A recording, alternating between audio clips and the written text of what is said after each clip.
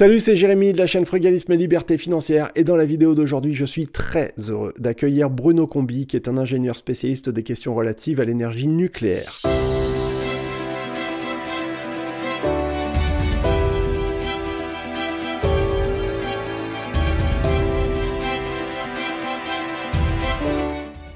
Avec Bruno, nous allons parler de la crise énergétique que nous sommes tous en train de traverser aujourd'hui, des causes et également de solutions frugalistes que tu vas pouvoir mettre en place pour essayer de t'en sortir du mieux possible. Alors si la vidéo te plaît, n'hésite pas à lâcher dès maintenant le petit pouce pour soutenir la chaîne, pour soutenir la vidéo auprès de l'algorithme YouTube, faire grandir la communauté en t'abonnant à la chaîne et en cliquant la cloche pour être tenu au courant dès que je sors des nouveaux contenus, des nouvelles vidéos qui, je n'en doute pas, vont t'intéresser vous pouvez me retrouver en podcast sur toutes les plateformes, ça s'appelle Frugalisme et Liberté Financière. Je rappelle que cette chaîne Frugalisme et Liberté Financière, c'est un média qui s'appuie également sur un site web, le frugalisme.com, un média dédié à l'éducation financière. Et on en a bien besoin aujourd'hui parce que vu le contexte dans lequel on est, vu le contexte difficile inflationniste, eh bien il est urgent de trouver des solutions efficaces pour avoir plus d'argent et pour être moins dépendant de son job, de son emploi, être plus autonome dans notre manière d'aborder la vie au quotidien. Alors cette interview elle est un petit peu longue, donc n'hésite pas à te préparer un petit café, etc., à te mettre à l'aise parce que tu vas voir, il y a du gros, gros, gros level aujourd'hui.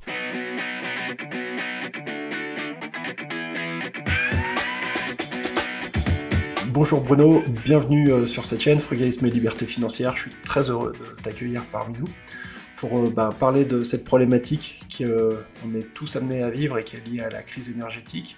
J'ai voulu inviter un spécialiste, j'ai voulu inviter quelqu'un qui va nous parler de ce qui se passe et peut-être des solutions qu'on va peut-être ou pas réussir à, mettre en œuvre pour euh, réussir dans un premier temps à passer l'hiver et, espérons à, mieux s'en sortir. Mais j'aurais voulu te demander avant si tu aurais la, gentillesse de bien vouloir te présenter, s'il te plaît. Bonjour Jérémy, bonjour à tous, c'est un plaisir d'être avec vous aujourd'hui. Euh, je vais euh, effectivement me présenter puis vous expliquer ce qu'on peut faire pour euh, mieux comprendre d'abord et mieux vivre, passer à travers cette crise énergétique très marquée qui s'annonce. Donc, je suis Bruno Combi, j'ai 62 ans, j'habite à Houille, en proche banlieue parisienne. Je suis né dans les milieux de l'énergie puisque mon père était prospecteur pétrolier, ce qui m'a amené à vivre très jeune, d'abord trois ans dans la jungle au Gabon, mes trois premières années, puis euh, deux années dans le sud des États-Unis, sept ans au Canada, au pied des montagnes rocheuses à Calgary. Et euh, depuis, étant français, eh bien, j'habite euh, en France, actuellement donc en banlieue ouest de la région parisienne. J'habite dans un pavillon de banlieue tout à fait standard, on va dire, bien que je l'ai construit pour qu'il soit extrêmement euh, frugal et, résilient. Donc, je vous en dirai quelques mots si vous voulez. Il y a beaucoup de choses qu'on peut faire pour améliorer sa vie, pour consommer moins, pour consommer mieux, pour être en meilleure santé. Donc, voilà. à niveau. Voilà, on, est exactement dans, des thématiques euh, qui, qui se rejoignent et c'est vraiment, vraiment la raison pour laquelle je suis super content de t'accueillir ici parce que voilà, tu, tu es chez toi. Hum, Bruno, j'ai une première question que je voudrais te poser. Qu'est-ce qui se passe? Qu'est-ce qu'on est en train de vivre? Enfin, je veux dire, tout le monde a compris que les prix sont en train d'exploser, ça, ok. Tout le monde a compris que le prix du gaz, de l'électricité, de l'énergie, il est en train d'exploser, on a bien compris aussi. Mais pourquoi? Comment ça se fait? Je veux dire, on, est en France, c'est le pays de l'électricité, quoi, tu vois. Comment on en est arrivé là? Qu'est-ce qui fait qu'on est dans une situation pareille? Alors, il y a plusieurs réponses possibles à cette question euh, en fonction du niveau d'analyse où on veut se situer. Euh, on peut répondre d'abord d'une manière simple en disant que nous avons euh, vécu une période extraordinaire ces dernières décennies où l'énergie était abondante, où le niveau de vie a énormément progressé grâce à cette énergie abondante et bon marché, et que cette, cette espèce de période dorée de l'histoire de l'humanité, de toute façon, n'allait pas durer indéfiniment. Ça ne pouvait pas durer bien sûr, euh, euh, des mauvaises décisions qui ont été prises par nos dirigeants vont sans doute accélérer euh, ce qu'on peut appeler la transition, si on veut être gentil, ou la chute, si on se rend un petit peu mieux compte de ce qui se passe, puisque c'était absolument pas inéluctable que ça arrive maintenant, ça pouvait être repoussé encore pendant très longtemps. mais il va effectivement y avoir une période, disons, très perturbée. Alors pourquoi? Ben, C'est très simple. L'énergie dominante aujourd'hui dans le monde, d'abord, c'est l'énergie qui fait le niveau de vie. C'est une première chose qu'il faut bien comprendre. Euh, sans énergie, eh bien, on serait tout seul. dans la nature, sans feu pour nous chauffer, sans transport pour nous amener la nourriture qu'on doit manger, sans aide pour démultiplier la puissance de nos deux bras et de nos deux jambes, sans moyens pour communiquer, c'est-à-dire qu'on serait un peu comme des hommes primitifs ou des singes qui vivraient dans la jungle. Et je pense que la plupart d'entre nous, s'ils étaient tout seuls dans la jungle, ne survivraient probablement pas très longtemps. Et donc, si nous avons le niveau de vie que nous avons aujourd'hui, c'est grâce à cette énergie qui nous apporte eh bien, des, des, des, bienfaits à différents niveaux, la capacité de nous transporter, d'avoir beaucoup plus de force que la force physique de nos deux bras et de nos deux jambes, d'avoir beaucoup plus de chaleur en hiver que la température qui règne naturellement euh, dehors euh, dans nos maisons et autour de nous, euh, d'avoir la capacité de transformer nos aliments, de transporter nos aliments, de nous transporter nous-mêmes, de transporter nos enfants à l'école, ce qui leur donne une instruction et leur permet d'être ensuite beaucoup plus à même de faire face aux défis du monde moderne, etc. Autrement dit, c'est l'énergie qui est à la base de tout. Donc cette énergie aujourd'hui vient principalement de quelques sources, assez peu nombreuses en fait. Il y a historiquement, il y a eu d'abord euh, euh, le bois hein, pour se chauffer, puis est apparu le charbon, le pétrole, le gaz. Donc le pétrole, ça fait, le charbon, ça fait 150 ans à peu près, l'époque industrielle. Puis le pétrole, c'était plutôt première moitié du XXe siècle que ça s'est beaucoup développé. Puis le gaz, on va dire deuxième moitié du XXe siècle, pour faire simple, jusqu'à présent. Euh, et puis l'énergie nucléaire, donc, qui est apparue à partir des années 70, l'énergie nucléaire civile, je parle bien sûr, on ne parle pas du militaire.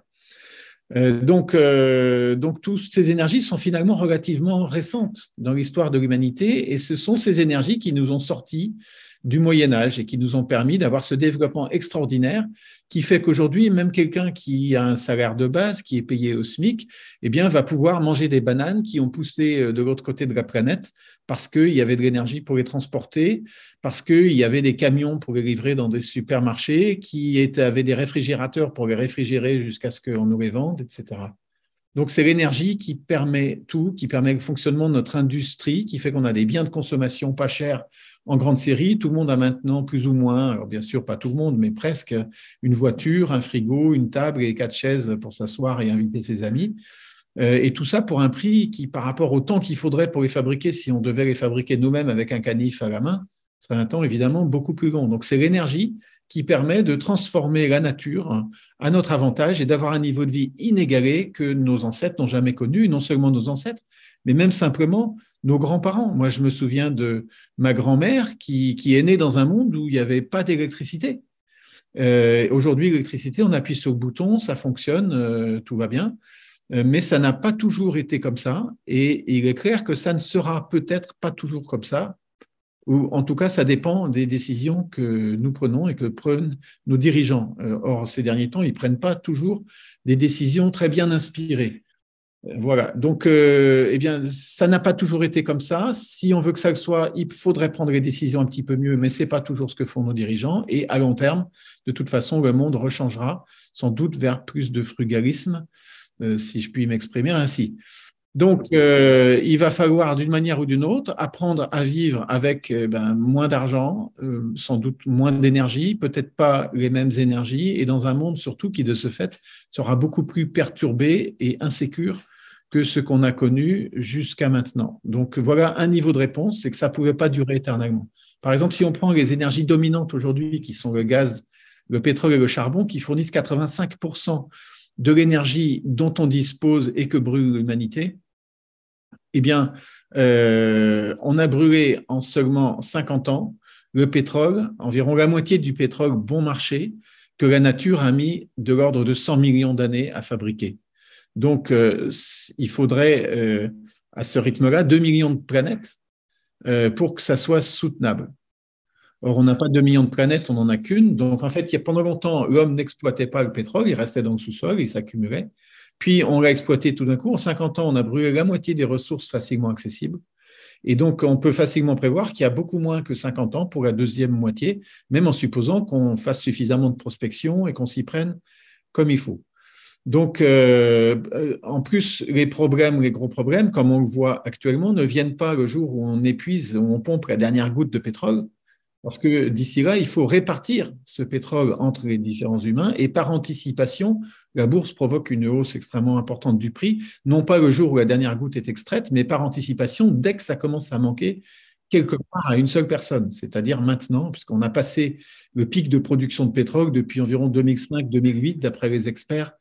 Euh, j'ai des amis qui sont membres de l'ASPO, l'Association Association for the Study of Peak Oil, donc l'association de l'étude du pic pétrolier, donc qui est maintenant euh, plutôt derrière nous et surtout en Europe où on a très peu de pétrole.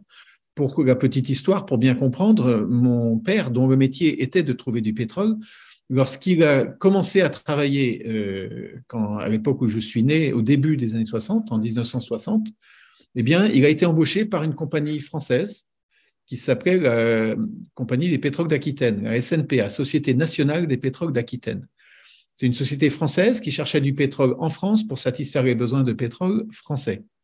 Mais très vite, à peine embauché, on lui a proposé une mutation qui consistait à aller chercher le pétrole ailleurs, en l'occurrence au Gabon, pourquoi? Parce qu'il était déjà très clair au, niveau des consommations et des courbes de production que le pétrole français ne suffisait plus pour satisfaire la croissance de la France. Donc pourquoi euh, on, a donc été au Gabon, dans ce qui était une colonie euh, française ou disons euh, une arrière-cour de la France à l'époque, pour y chercher du pétrole. Donc son premier job, c'était d'être avec quelques adjoints et ouvriers au cœur de la jungle avec quelques outils et de dire voilà, faites jaillir le pétrole et on vous amène un hélicoptère avec tout le matériel que vous demanderez par Telex qui viendra une fois par semaine. On vous envoie le matériel et il faut que le pétrole sorte et ensuite on, on chargera dans des bateaux pour ramener en France. Donc ça, ça a été le premier job de mon père. Et très vite, on déménageait tous les deux ou trois ans pour aller aux États-Unis, au Canada et dans d'autres pays. Parce que dès qu'on a trouvé le pétrole dans un pays, on se met à le pomper, quelques années après, il n'y en a plus, il faut vite aller le chercher ailleurs. Donc c'est la grande aventure du pétrole qui a permis l'éclosion de ce monde extraordinaire dans lequel nous vivons aujourd'hui, où l'énergie est essentiellement pétrolière, est abondante et, a été bon marché jusqu'à maintenant. Mais on voit bien que parce qu'il fallait qu'on déménage tous les deux ans, parce qu'il n'y en a plus, un jour, ça suffit plus. Et ces pays-là qui coopéraient volontiers avec la France, c'est beaucoup moins le cas aujourd'hui. Donc particulièrement pour l'Europe et la France qui n'ont pas beaucoup de ressources pétrolières ni gazières, ou plutôt il y en avait, mais elles ont été épuisées, essentiellement du gaz de lac dans le sud-ouest de la France, donc au pied des Pyrénées. Eh bien, maintenant, on est dépendant, comme on le voit euh, malheureusement aujourd'hui, du pétrole et du gaz qui viennent essentiellement de Russie, de Sibérie, mais aussi du Moyen-Orient ou éventuellement dans une moindre mesure d'Algérie, ou encore un petit peu, mais plus pour très longtemps, du nord de l'Europe, avec la Norvège par exemple. Mais tous ces champs de pétrole qui sont relativement périphériques s'épuisent peu à peu. Pendant longtemps, on avait les Anglais qui nous envoyaient pas mal de pétrole et de gaz, mais chez eux aussi, c'est épuisé maintenant. Et donc, euh, on est obligé d'aller chercher plus loin. Et les deux grandes sources, les deux grandes réserves ultimes, on a euh, la Russie, euh, Russie, Sibérie, où il y en a beaucoup, et on a le Moyen-Orient. Et donc, quand ils se retrouvent en situation de monopole et qu'il n'y a pratiquement plus que eux, eh bien, ils peuvent à ce moment-là tout d'un coup faire x10, x15, x20 sur les prix, nous, nous couper le robinet, comme c'est en train de se produire maintenant, et les champs de pétrole ou de gaz périphériques sur lesquels on pouvait se reporter en cas de besoin jusqu'à maintenant, ben, ils sont quasiment épuisés. Donc, le report est de plus en plus compliqué et difficile. Du coup, on, se trouve en situation de dépendance totale, pieds et poings liés et coincés. C'était, euh, c'était, si je puis me permettre, déjà le cas avec, euh, à l'époque avec euh, les différents chocs pétroliers et les investissements massifs qui avaient été faits en France pour le développement du nucléaire. Et je crois savoir que tu es un partisan de l'énergie nucléaire dans le cadre d'une approche écologique. Alors, je suis un fervent partisan du nucléaire parce que c'est une énergie écologique, on pourra en parler si tu le souhaites euh, plus en détail. Euh, mais c'est vrai qu'on a eu, en fait, on a eu la chance d'avoir un, grand avertissement, un signal d'alarme avec le premier choc pétrolier en 1973. Qu'est-ce qui s'est passé? Ben, Exactement la même chose qu'aujourd'hui. Tout d'un coup, le prix du pétrole a été multiplié par 6, brutalement, euh, par les pays producteurs qui se sont réunis en cartel et qui ont décidé tout simplement de couper le robinet. Donc le prix, et puis il y avait eu la guerre du Kippour juste avant, enfin il y avait une conjonction de relativement favorable qui faisait qu'en coupant le robinet un petit peu, ça faisait tout d'un coup exploser les prix. Donc c'était un petit peu comme aujourd'hui, on a eu donc un, véritable signal d'alarme et euh, le gouvernement en grande panique comme aujourd'hui euh, s'est réuni pour décider des, décisions qui devaient être prises à ce moment-là. Et ils ont trouvé qu'il y avait trois solutions. Alors c'est très intéressant de faire un petit flashback sur cette période parce que c'est exactement la même chose qui est en train de se reproduire aujourd'hui, un peu le même contexte, avec les mêmes solutions et probablement la même chose qui va se passer derrière. Donc c'est déjà utile pour comprendre de faire un flashback sur le passé. Donc il y a eu trois décisions de prise. La première, c'était d'économiser l'énergie. À l'époque, ça portait un nom, c'était la chasse au gaspillage. Donc, euh, ben, économiser tout ce qu'on peut. Par exemple, on a mis en place les premières réglementations thermiques sur les bâtiments pour mieux isoler les maisons. Jusque-là, en gros, on n'isolait pas les maisons. Chacun isolait sa maison comme il avait envie. Ce n'était pas obligatoire. Et souvent, les maisons n'étaient pas isolées du tout. Il y avait juste des parpaings ou du béton. Et puis, qui, qui voulait mettait un petit quelque chose, mais il n'y avait pas grand-chose. donc, ça a permis de mettre en place cette réglementation euh, thermique. C'est une bonne chose qui s'est progressivement durci jusqu'à être aujourd'hui assez dur. Donc, il, faut continuer, bien sûr, à isoler au mieux sa maison, mais je ne pense pas qu'on pourra raisonnablement isoler beaucoup plus que la réglementation énergétique 2020 qui est en vigueur aujourd'hui, parce qu'il y a un moment où ça devient un peu ridicule de rajouter des surépaisseurs et des manteaux autour du manteau de la maison, avec, on ne va pas mettre non plus 2 mètres d'isolant d'épaisseur autour de chaque maison, bien qu'il y ait des choses qu'on puisse faire à différents niveaux, on en reparlera après, si vous voulez. Donc ça, c'est la première décision qui a été prise en, 73-74. Cette décision a été, je dirais, un demi-succès. Pourquoi un demi-succès? D'abord un succès parce que, comme on disait, ça a permis de mettre en place la réglementation énergétique et ça a engendré euh, un cercle vertueux, notamment sur l'isolation des maisons. Et pourquoi un demi-succès seulement? Parce que malgré cette chasse au gaspillage, cette isolation meilleure des bâtiments et une prise de conscience euh, au niveau des populations qui fait qu'on a un peu arrêté de gaspiller, parce que simplement l'énergie était plus chère aussi, euh, demi-succès seulement parce que malgré tout ça, la consommation d'énergie a continué à augmenter euh, quasiment chaque année depuis 1974.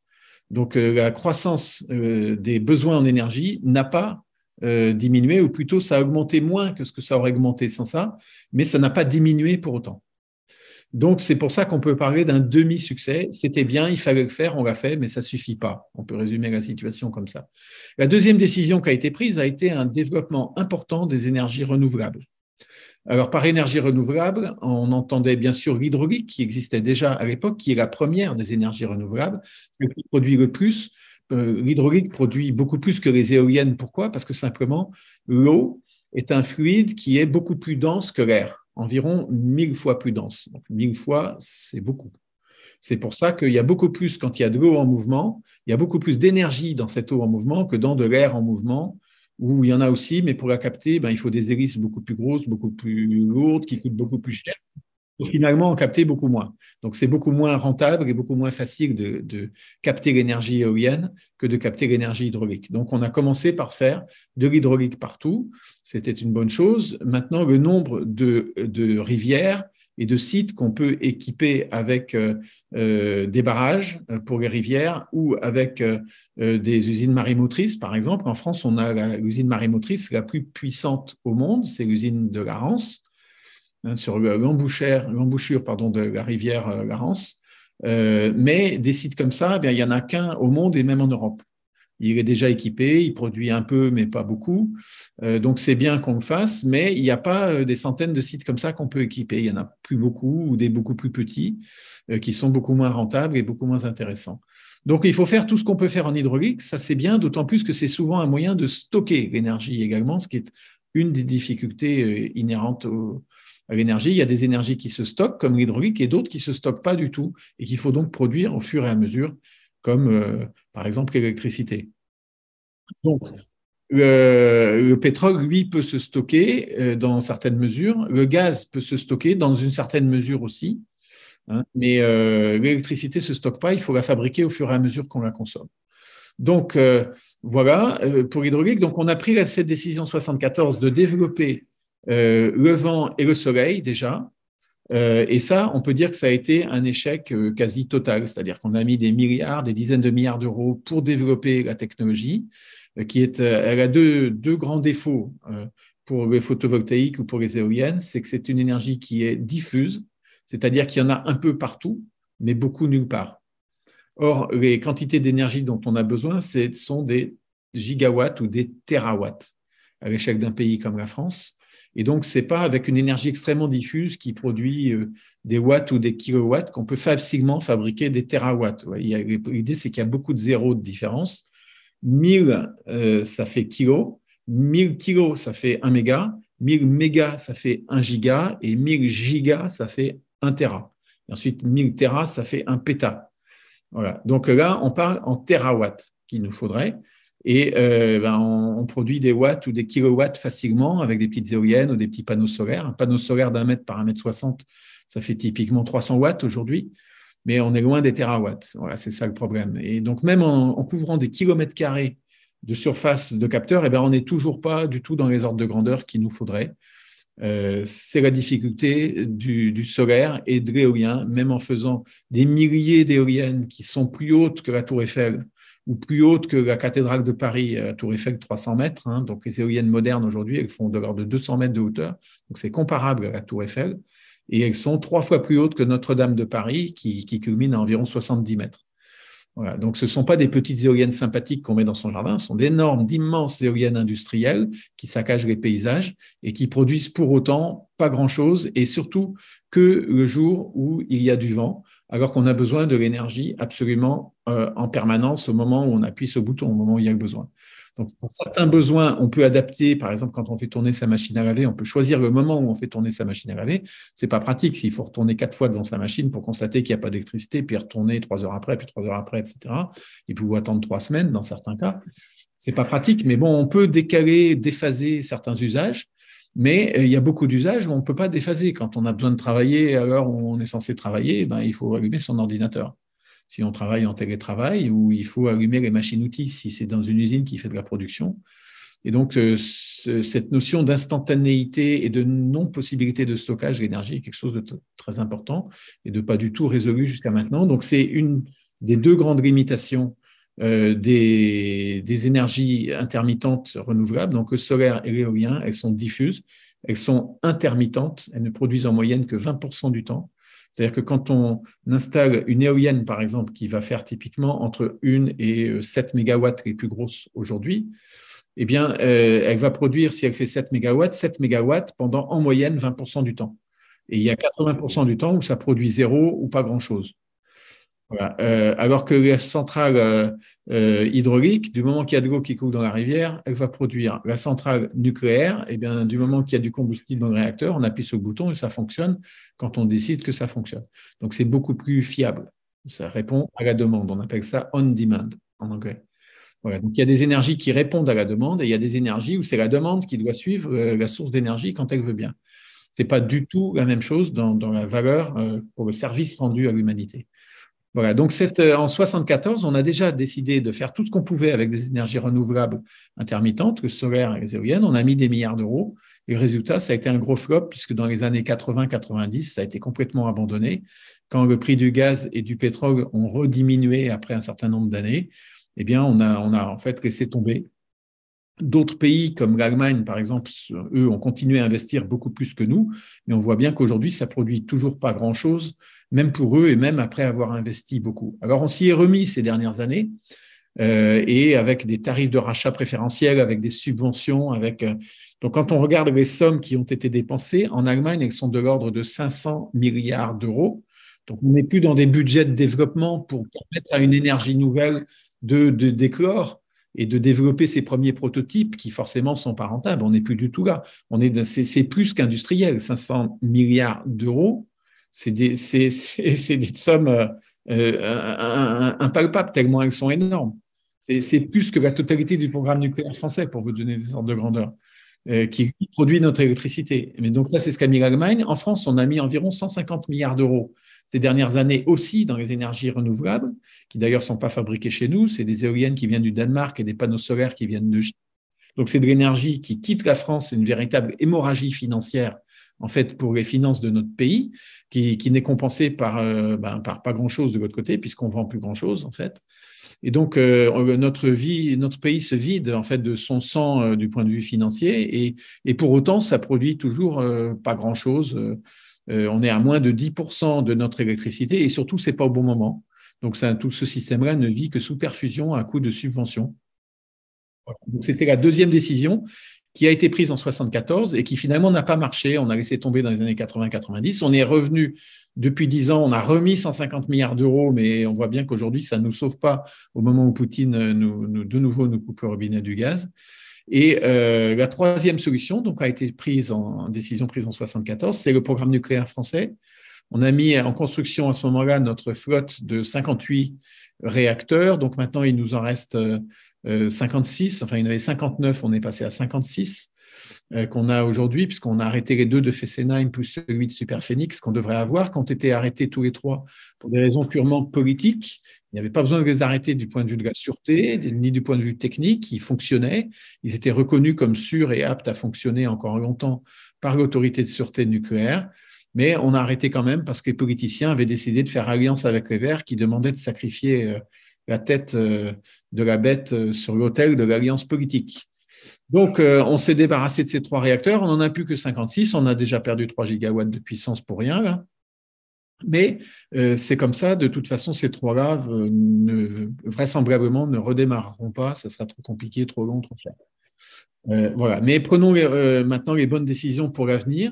Donc, ce programme nucléaire français a néanmoins été construit pour les 56 réacteurs restants qui fonctionnent encore aujourd'hui et qui sont une chance extraordinaire pour notre pays, puisqu'on a une des électricités les moins chères en Europe, les plus propres sans émettre de CO2 en Europe, et que le monde entier nous envie, parce qu'en fait, il n'y a que la France qui a réussi à faire ça. Et quand on regarde, euh, je regardais par exemple encore hier, les performances écologiques du mix électrique français au moment où on est sans doute euh, au, pire moment dans l'histoire euh, du nucléaire français, puisque vous savez qu'il y a cette affaire de corrosion sous contrainte qui fait qu'on a une douzaine de réacteurs en plus de d'habitude en état de marche.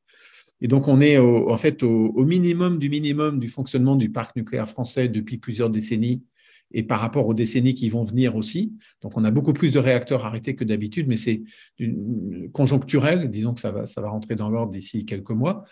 Euh, mais on en a moins que d'habitude. Et malgré ça, on a encore l'électricité la plus verte par rapport à tous nos pays, euh, tous les pays qui nous entourent, par rapport à l'Espagne, à l'Italie, à l'Allemagne, au Danemark, etc.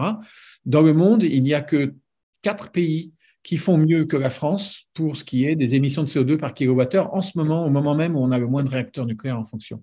Ces pays sont euh, l'Islande, qui est un cas très particulier parce qu'ils ont énormément d'énergie géothermique.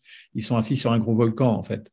Et donc, avec la géothermie, comme ils sont une petite île avec peu d'habitants et beaucoup de géothermie, ils peuvent faire toute leur électricité en géothermie. Donc, c'est un, cas particulier qui n'est pas euh, duplicable, l'Islande. Et sinon, les trois pays qui font mieux que nous euh, aux émissions de CO2 par kilowattheure en ce moment, malgré notre parc nucléaire arrêté, c'est d'une part la Suède, parce qu'elle fait 50% de son électricité comme nous avec du nucléaire et 50% avec euh, de l'hydraulique, qui évidemment n'émet pas de CO2. Ensuite, euh, il y a le Canada, notamment le Québec, qui, pareil, fait euh, une grande partie de son électricité avec de l'hydraulique et un petit peu avec du nucléaire. En fait, tous les pays qui font mieux que nous en ce moment, c'est ceux qui ont énormément d'hydraulique de manière naturelle disponible. Nous, on en a aussi, on a équipé à peu près ce qu'on a pu. Euh, on peut faire encore un petit peu de micro-hydraulique, mais ça ne changera pas les, équilibres macroéconomiques ou macro-énergétiques. Et donc, ben, avec ce qu'on a, euh, heureusement qu'on a quand même le nucléaire. Alors c'est vrai, si tu veux, on peut parler de cette situation particulière en ce moment. Certains diraient que c'est une énergie intermittente euh, du fait de certaines conditions climatiques également peut-être. Euh, voilà. Qu'est-ce que tu pourrais répondre à ça? Parce que je m'attends à avoir beaucoup de réactions dans les commentaires justement par rapport à cela. Alors, sur les conditions climatiques, euh, non, ce n'est pas une énergie intermittente parce que le nucléaire fonctionne même quand il n'y a pas de vent, qu'il pleuve ou qu'il pleuve pas, et qu'il y ait du soleil ou qu'il n'y ait pas de soleil. Même quand les rivières elles sont asséchées euh, derrière ou euh, par rapport au, réchauffement de, de, l'eau, c'est ça à quoi je pense? Je pense que tu fais référence au fait que quelquefois en été en France, il y a quelques centrales nucléaires, par exemple celle de Civaux ou, ou celle dans de, de, Fessenheim aussi, qui devaient éventuellement euh, ralentir un tout petit peu leur production pour ne pas trop réchauffer la rivière. Alors, il y a plusieurs choses à dire par rapport à ça.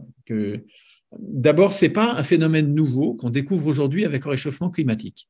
C'était parfaitement connu par les ingénieurs qui ont conçu ces réacteurs il y a maintenant presque 50 ans. C'était connu et c'était considéré comme non gênant, et d'ailleurs ça n'est pas gênant, pour une raison très simple, c'est qu'en France, on utilise beaucoup d'électricité en hiver au moment de la pointe de production électrique parce que c'est le chauffage qui consomme le plus d'électricité.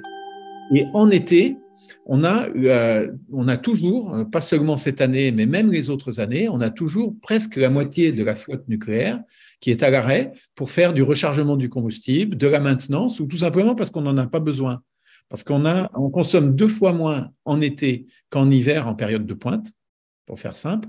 Et donc, on peut se permettre d'arrêter la moitié de nos réacteurs en été puisqu'on n'en a pas besoin. Donc c'est pour ça qu'on a la moitié de nos réacteurs arrêtés. Sur les 32, donc on a 56 réacteurs, 24 euh, en fonctionnement, 32 d'arrêtés, mais il faut bien voir qu'une année normale, sans l'affaire de la corrosion sous contrainte, on a aussi entre 20, 25 ou 30 réacteurs arrêtés. C'est quasiment pareil. Pourquoi? Parce qu'on arrête tous les étés nos, réacteurs pour recharger le combustible, pour ce qu'on appelle les visites partielles pour l'entretien ou les visites décennales pour l'entretien qui se fait une fois tous les 10 ans ou pour les mises à jour post-Fukushima, puisqu'il y a eu des, mises à jour qui ont été demandées pour augmenter encore plus la sûreté, rajouter des équipements, des pompes supplémentaires, des, des câbles supplémentaires, des tuyaux supplémentaires, etc.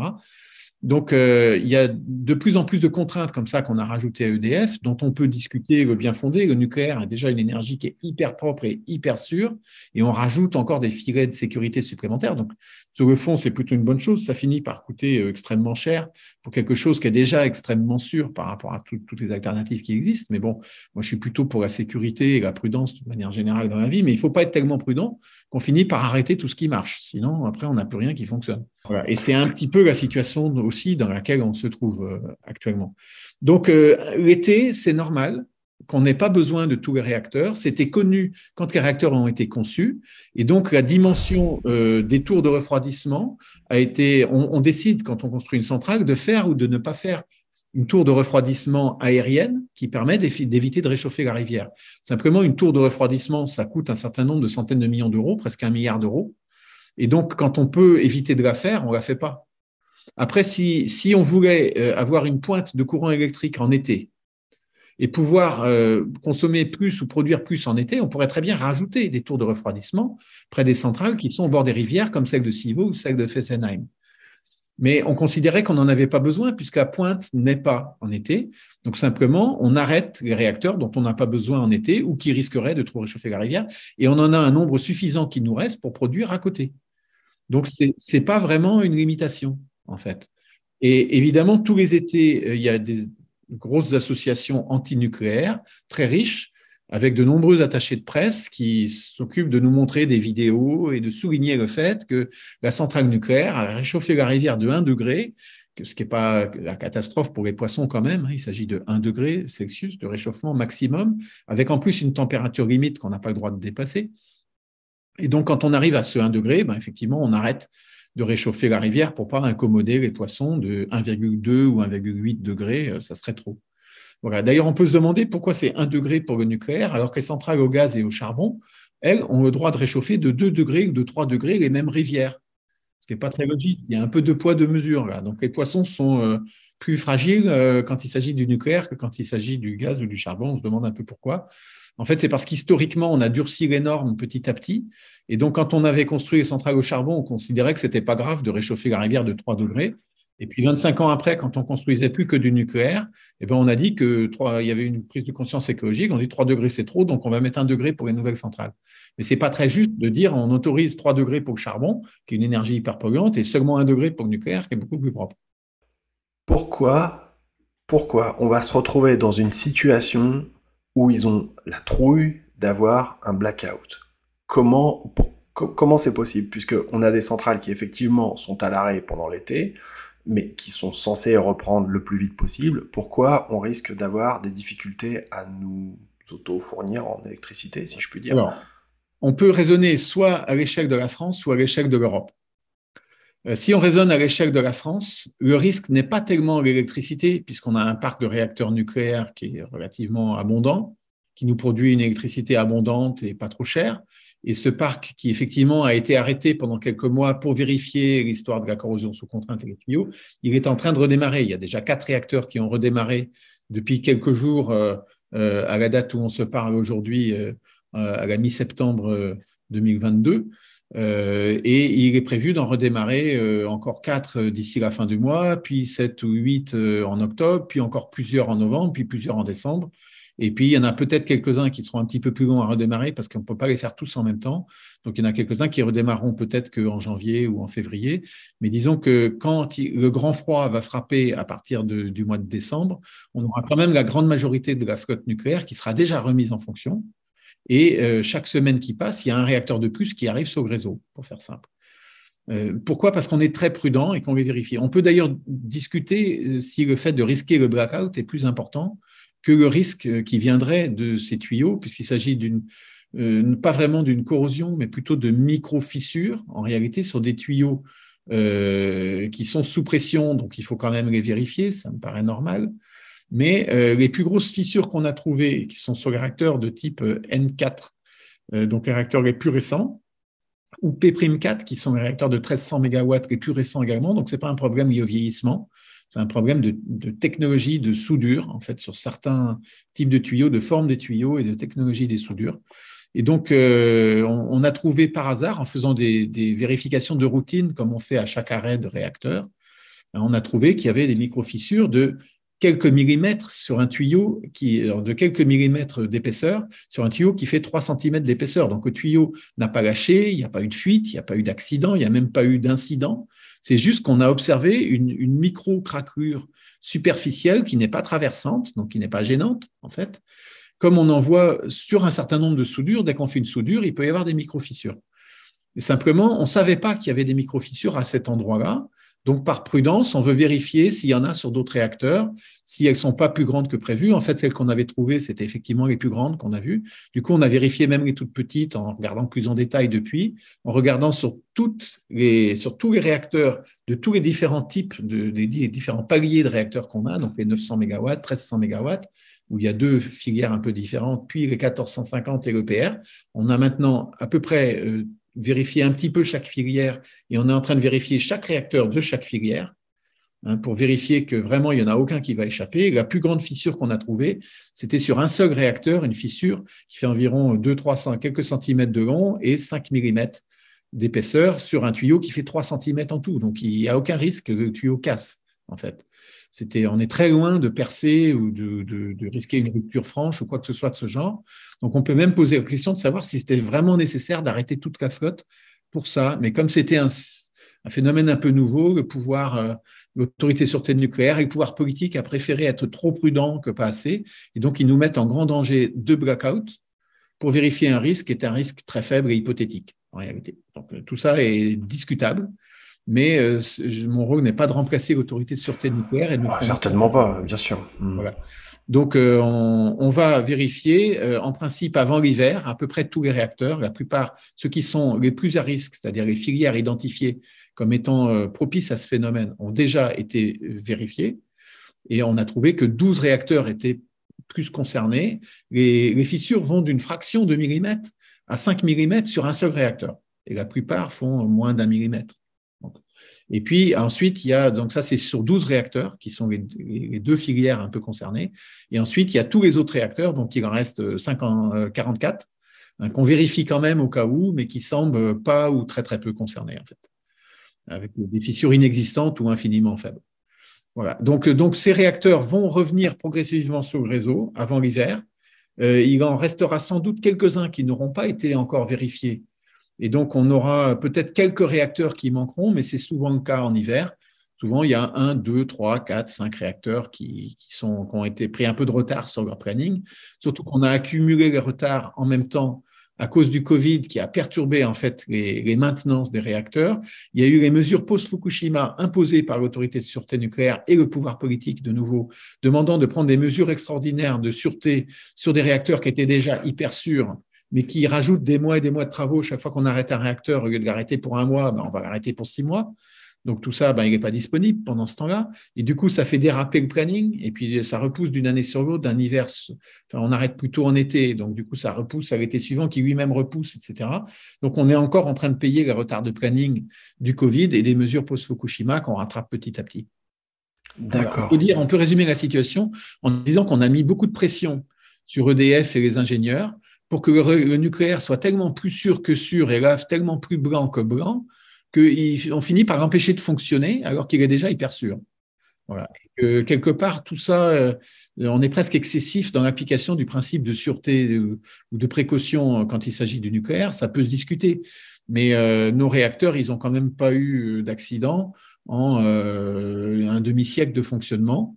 On n'a même pas frôlé l'accident nulle part. Donc, bon, Mais bon, on, fait, on fait en sorte d'être plus sûr que sûr. Donc, disons que c'est tant mieux.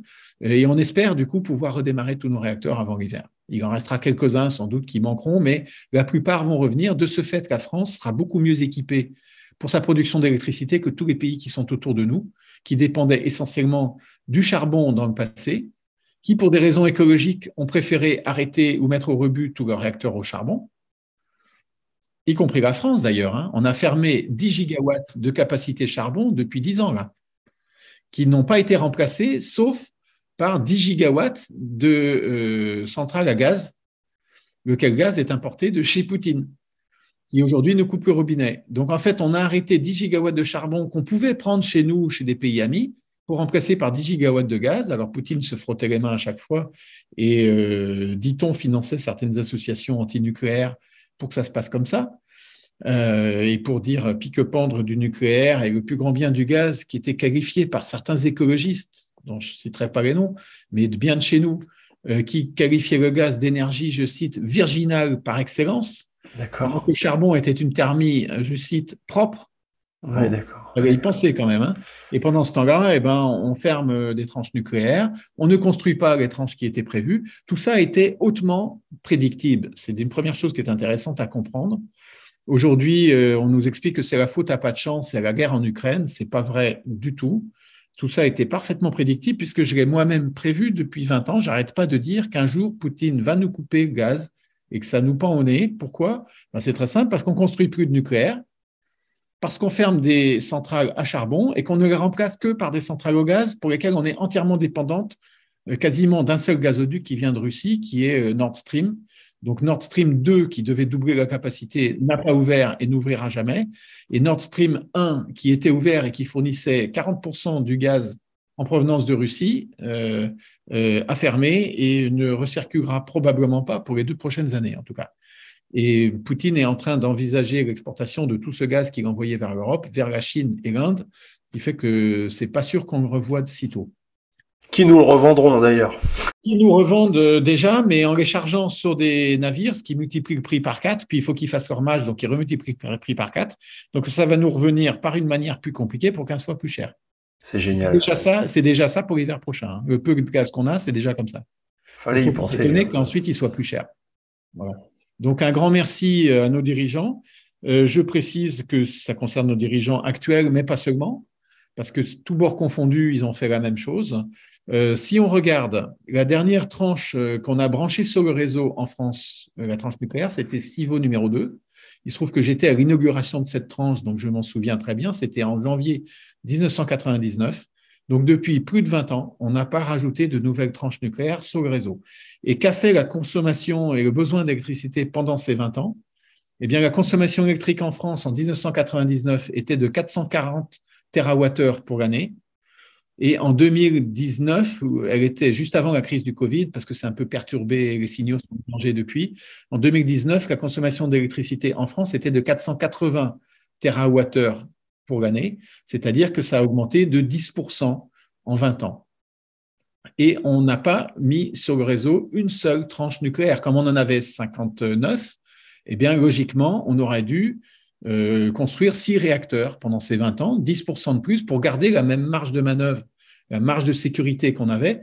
Mais cette marge de sécurité qui était bonne, c'est une gestion de père de famille que d'avoir une marge de sécurité sur une ressource qui est non stockable et dont on a besoin dans les quantités dont on a besoin au moment où on en a besoin. Donc, euh, il fallait une marge de sécurité, mais cette marge de sécurité était très mal vue pendant 20 ans. Au lieu de dire marge de sécurité, on a changé le vocabulaire et on a décidé que c'était du gaspillage et qu'on avait une surcapacité, que c'était extrêmement honteux d'avoir une surcapacité de production électrique. Souvenez-vous de ce qu'on entendait encore hier à la télévision, il y a quelques mois, il y a quelques années. Depuis 20 ans, on nous bassine en nous disant c'est pas bien, EDF, il a une surcapacité de production électrique, les ingénieurs nucléaires sont des mauvais, ça sert à rien d'avoir cette surcapacité, c'est honteux, il faut la fermer. Eh bien, c'est ce qu'ils ont fait. Et c'est pas étonnant qu'aujourd'hui, on se retrouve à être un peu juste après son interprétation. Il faut, sur une, une denrée vitale qu'on ne peut pas stocker. Il faut avoir une marge de sécurité. C'est ce qui permet de voir venir l'esprit tranquille. On l'avait, cette surcapacité était d'environ 10 à 15% en 99, et petit à petit, eh bien, elle s'est érodée puisque la consommation a continué à augmenter et qu'on n'a rien construit. Non seulement on n'a rien construit, mais on a fermé. Trois tranches nucléaires, ça fait 3 gigawatts, plus 10 gigawatts de charbon qu'on a remplacé par 10 gigawatts de gaz qu'aujourd'hui on perd. Donc, on est évidemment euh, complètement planté par, non pas la guerre en Ukraine et la faute à pas de chance, mais par l'incurie, par l'imprévision, par les mauvaises décisions, par le manque de prévoyance de nos dirigeants politiques, tout simplement. Il faut dire qu'ils s'appuyaient sur un discours médiatique à la mode, qui était que la surcapacité, c'est pas bien, c'est honteux. Ben non, c'est bien la surcapacité. Il vaut mieux avoir une voiture euh, un peu plus grosse que le nombre d'enfants qu'on a. Quoi. Sinon, il y a un jour, on est coincé. Il vaut mieux avoir euh, des réserves de nourriture un petit peu plus que ce qu'on mange, sinon on risque d'être coincé. C'est pareil. Donc, euh, il fallait, on a perdu cette marge de sécurité. Aujourd'hui, on ne peut pas la récupérer instantanément parce que quel que soit l'outil de production énergétique qu'on va construire, ça prend 20 ans. Il a fallu 20 ans pour construire le programme nucléaire français. Ça a commencé en 1974 la décision de faire tout d'un coup beaucoup de centrales nucléaires, et elles ont été faites, la dernière, en 1999, 25 ans. Mais on a un peu traîné les dernières années parce qu'il y avait moins de besoins.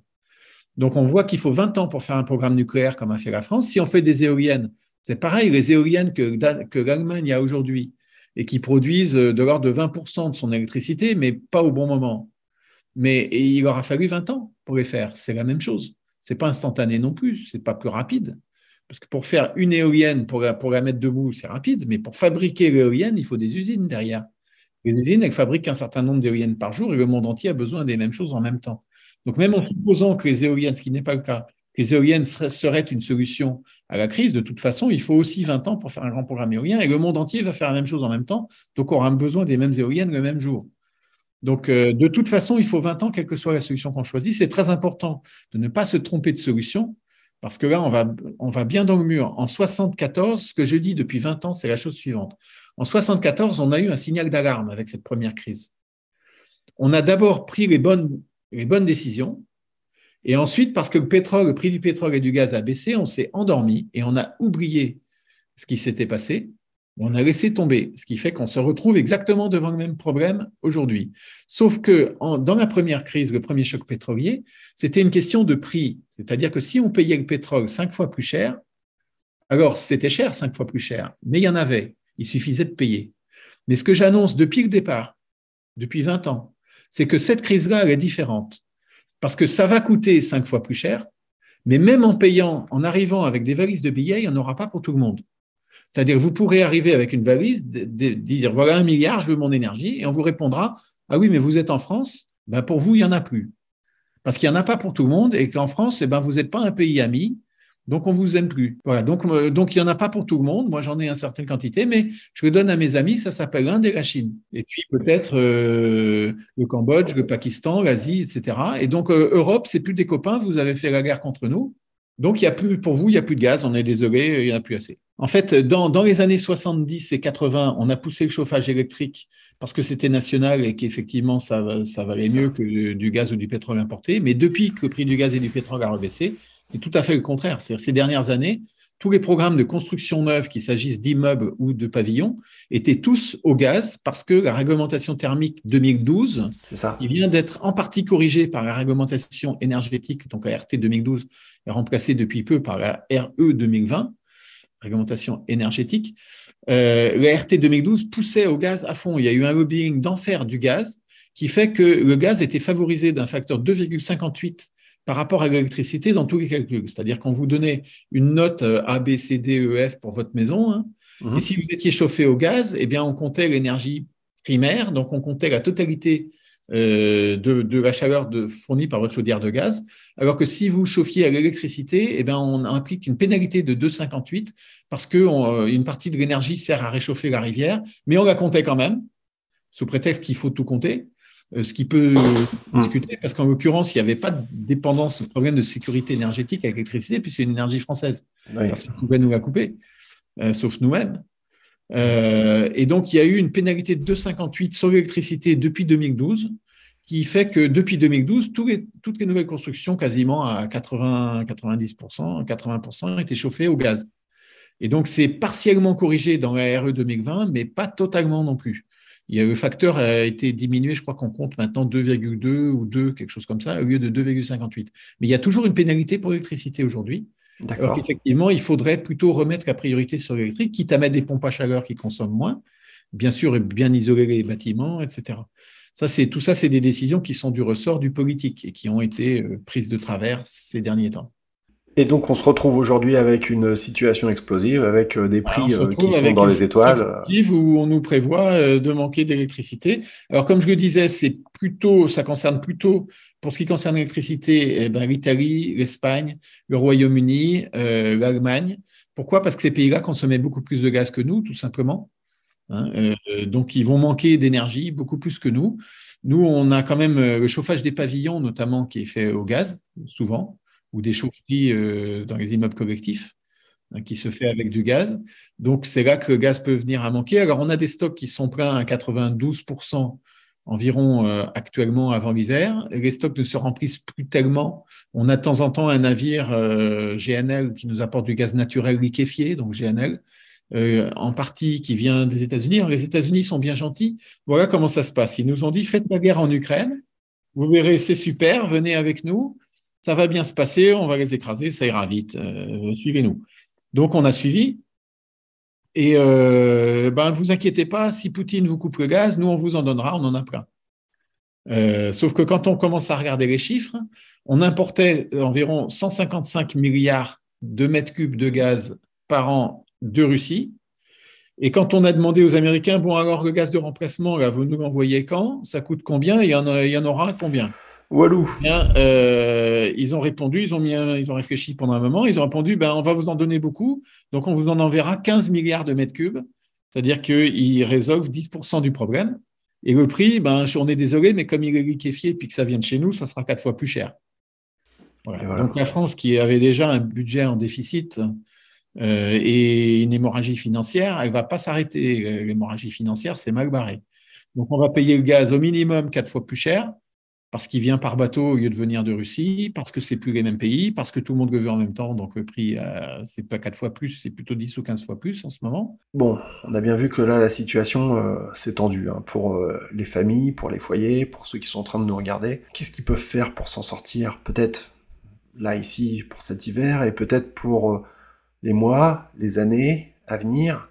Qu'est-ce qu'il faudrait faire? Faut se mettre en mode survivalisme Faut, faut faire quoi? Alors, bonne question. Qu'est-ce qu'il faut faire pour se sortir de cette situation euh, compliquée? Eh bien, on peut agir quand même à différents niveaux. Si on attend que le gouvernement le fasse pour nous, eh bien, il ne fera rien du tout. Il fera ce qu'il pourra, c'est-à-dire pas grand-chose, puisque jusqu'à maintenant, il n'a pas fait ce qu'il fallait. Mais il y aura des décisions prises quand même. Peut-être ça aidera, on peut espérer. Mais euh, par expérience, c'est mieux de compter sur soi-même que sur les autres. Donc, personnellement, j'ai déjà largement fait ma transition énergétique euh, d'abord, j'ai en 2007, euh, la maison où j'habitais était un petit peu trop petite parce que je me suis marié, j'avais ma femme qui était enceinte. Donc, c'était clair qu'il fallait une maison plus grande que celle que j'avais. Donc, quand j'ai construit ma maison, j'ai dit la nouvelle maison, elle sera économe en énergie. Donc, j'ai construit une nouvelle maison euh, qui est trois fois plus grande en nombre de mètres carrés euh, mais qui consomme euh, de l'ordre de 10 fois moins d'énergie, malgré qu'elle soit trois fois plus grande. Et euh, comme l'énergie qui était du gaz dans l'ancienne maison se retrouve être de l'électricité, n'émet pas de CO2 en fait du tout. Donc j'ai déjà fait ma transition énergétique côté maison entre 2007 et 2010 en construisant une maison passive, positive en énergie, qui consomme très peu et uniquement d'électricité, zéro gaz. Je fais une petite aparté. on aura l'occasion de vous la montrer plus tard. J'ai très envie de vous la montrer parce que c'est très très très inspirant. Il y a déjà eu des, reportages, des, des, choses qui ont été faites pour montrer cette maison. C'est un truc, c'est vraiment à, à voir, vraiment. Je t'en prie, continue. Et, mais ça, ça prend un certain temps parce qu'il faut déménager, il faut acheter une nouvelle maison, il faut la construire si elle n'existe pas. C'est des sous en plus. Et puis c'est des sous, euh, etc. Pas forcément beaucoup parce qu'à terme, on, finit par récupérer ces sous. Hein. Surtout au prix de l'énergie, comme elle va coûter maintenant. Hein. Voilà. Donc il y a la question de ce qu'on peut faire dans sa maison. Donc il y a quand même un certain nombre de choses qu'on peut faire. Par exemple, quand on ferme les volets, ben, il y a beaucoup moins de déperdition par les fenêtres. Euh, en été, euh, quand il fait chaud, ben pareil, on ferme les volets, euh, la maison va se réchauffer moins vite. ensuite, en, hiver, pour chauffer, ben, si on met un, c'est un peu rudimentaire, mais si on met un, c'est du frugalisme appliqué. Si on met un pull vert, tout le monde le sait maintenant, mais 1 degré, c'est 7% de la consommation énergétique, donc c'est toujours ça de gagner. Ensuite, moi j'ai un petit truc que je fais depuis longtemps, mais pas du tout parce que l'énergie est chère, juste plus pour ma santé et par plaisir ça paraît paradoxal, c'est la douche froide. Donc, si vous prenez l'habitude de prendre une douche tiède ou une douche froide, euh, disons une douche tiède pour y aller progressivement au début, il n'y a pas besoin de se brutaliser non plus. Mais moi, je prends des douches tièdes euh, depuis l'adolescence et des douches froides euh, depuis de nombreuses années. Et la douche froide est un outil extraordinaire, indépendamment de la crise énergétique, pour sa santé il se trouve que ça économise aussi l'énergie, parce qu'évidemment, ça coûte, c'est gratuit en énergie, la douche froide. Vous payez l'énergie. C'est radical hein, quand même. Hein, déjà, avant l'augmentation du prix de l'énergie, quand vous prenez une douche chaude, le prix de la chaleur pour chauffer la douche vous coûte déjà entre 3 et 10 fois plus cher que le prix de l'eau pour prendre la douche. Mmh. Donc mmh. presque tout le prix en euros, il est dans le chauffage de l'eau plus que dans l'eau elle-même. Donc l'eau, ça coûte cher, mais beaucoup moins cher que l'eau chaude. Et donc, euh, bon, moi, je, suis un grand fan des douches froides parce que c'est stimulant pour le système immunitaire, ça permet d'être beaucoup plus en forme, ça améliore la qualité du sommeil, du système circulatoire, ça permet d'entretenir euh, sa masse musculaire. Euh, la douche froide, c'est vraiment un outil de santé extraordinaire avant même d'être un outil d'économie en euros financière ou d'économie d'énergie. Donc, c'est aussi dans le cadre du frugalisme un outil extraordinaire pour consommer moins. D'accord. Je vous recommande de tester d'abord les douches tièdes, si vous n'avez pas l'habitude, puis les douches froides. Évidemment qu'une douche qui dure deux fois moins longtemps, ben, ça coûte deux fois moins cher qu'une douche qui dure deux fois plus longtemps. Donc vous prenez des douches, et quand on prend sa douche froide, en général, elle dure beaucoup moins longtemps que la douche. tu m'étonnes. donc, euh, vous êtes gagnant-gagnant là. Euh, je crois bien. Ensuite, il y, a des effets. Vous êtes gagnant, gagnant, gagnant, même trois fois, parce que quand on prend sa douche froide, ce qui se passe, c'est que le corps s'habitue à beaucoup mieux résister au froid et du coup, on supporte beaucoup mieux. Moi, je me suis surpris parce que j'ai des périodes de ma vie où je prenais davantage de douches froides ou un peu moins de douches froides. Et puis maintenant, depuis ces trois, quatre dernières années, je prends quasiment plus que des douches froides. Et en fait, quand on fait ça, ben, on s'aperçoit que euh, comme j'aime bien dormir à la fenêtre ouverte pour mieux respirer, ça c'est sur la pollution par le CO2, c'est encore un autre sujet, c'est la qualité de l'air intérieur. Et donc euh, j'aime bien respirer dans la chambre où je dors, et donc j'ouvre la fenêtre, été comme hiver. Euh, j'ouvre en grand. Et du coup, en hiver, il fait un peu froid quand même. Mais je me suis aperçu que dans les périodes où je prends des douches froides, eh ben, je ne sens pas le froid. Et je me retrouve à dormir avec la couverture. Et puis, quelquefois, je me retrouve en pleine nuit à dormir sans la couverture, alors qu'on est en plein hiver. Et en fait, le corps, il s'habitue. Mais ta femme, elle est d'accord à dormir comme ça à la fenêtre ouverte, euh, même en décembre? Alors, ma femme, je lui demande pas forcément son avis, c'est la première chose. Et puis, elle peut être sous le drap. Euh, D'accord. ouais, il se trouve que... quoi. Il trouve qu'en ce moment, je suis divorcé, hein, je précise. Pardon. Euh, ce que, le message, c'est que je voudrais vous dire que euh, le corps humain est une machine extraordinaire qui s'adapte. Et que quand on prend plus de douches froides, en fait, on ressent beaucoup moins le froid la nuit, quand on sort dehors hein, et, dans la température confortable pour travailler dans la maison. Donc moi, personnellement, j'ai une maison qui me coûte trois fois rien à chauffer, donc je la chauffe plutôt à une température confortable qui est de 22 degrés. Je n'ai pas prévu de changer euh, cette année parce que de toute façon, mon, prix en énergie, c'est 1 euro par jour. Toute énergie confondue, y compris les 15 000 kilomètres, c'est 1 euro par jour pour la maison et 1 euro par jour, disons, euh, pour les transports avec la voiture électrique. Donc, on est à 2 euros par jour en tout. Ce n'est pas extrêmement cher, même si ça prend plus 10%, plus 20%, plus 30%. Euh, donc, ça ne changera pas grand-chose dans le budget euh, général. Donc, moi, je suis relativement résilient euh, financièrement déjà parce que j'ai tellement diminué ma consommation d'énergie que j'en suis plus à 10 ou 20% près. ça ne change pas grand-chose. évidemment, une famille qui dépense déjà, mettons, 1000 euros par an, par exemple, juste pour chauffer sa maison ou son appartement, et puis 2000 euros par an pour son pétrole, pour sa voiture, par exemple, euh, bah évidemment, c'est 3 000 euros par an. Si ça doit être multiplié par 5, ça fait 15 000 euros. On ne voit pas comment on va pouvoir faire, ce n'est pas possible. Voilà. Et moi, je suis en centaines d'euros, je ne suis pas en milliers d'euros. Donc, comme j'ai déjà divisé d'un facteur 10, même si ça multiplie par 3, ça me coûtera toujours 2-3 fois moins cher que ce que ça vous coûtait à vous avant, jusqu'à maintenant. Je ne parle même pas du prix d'après, là, je suis à 10 fois en dessous. Donc, donc personnellement, je ne me sens euh, pas très concerné par tout ça, mais j'ai remarqué, donc, comme je vous disais, que euh, le corps humain s'adapte facilement niveau température et qu'on est capable de vivre avec effectivement un ou deux degrés de moins, ou trois ou quatre euh, degrés ou cinq degrés de moins dans la maison. Et surtout quand on prend des douches froides, on supporte très bien parce que simplement parce que le corps s'habitue à un nouveau contexte. Donc juste un petit coup de froid de temps en temps, pas forcément qui dure longtemps, juste le matin, une minute même, ça suffit. Euh, et le corps, il va apprendre et du coup, il résistera beaucoup mieux. Et en même temps, il est plus efficace à tous les niveaux. Donc, votre digestion devient plus efficace, votre sommeil devient plus efficace, vos performances physiques sont plus efficaces, ce qui fait qu'en faisant moins de sport, eh ben, vous allez garder euh, la masse musculaire euh, bien, bien dans mon état de fonctionnement, simplement parce que votre métabolisme fonctionne mieux. Donc, c'est tout en fait un mode de vie qu'il faut redécouvrir qui s'appelle justement le frugalisme euh, pour, vous. Hein, donc, je vous invite à, découvrir euh, cet, univers en fait d'habitudes de, vie nouvelles. Donc, qui s'applique dans différents domaines. Donc, il y a l'énergie, il y a l'exercice physique, il y a la régulation thermique, la température. Alors, je dis pas qu'il faut vivre comme un glaçon non plus euh, dans la neige tout, tout l'hiver. Comme font certains, c'est pas nécessaire.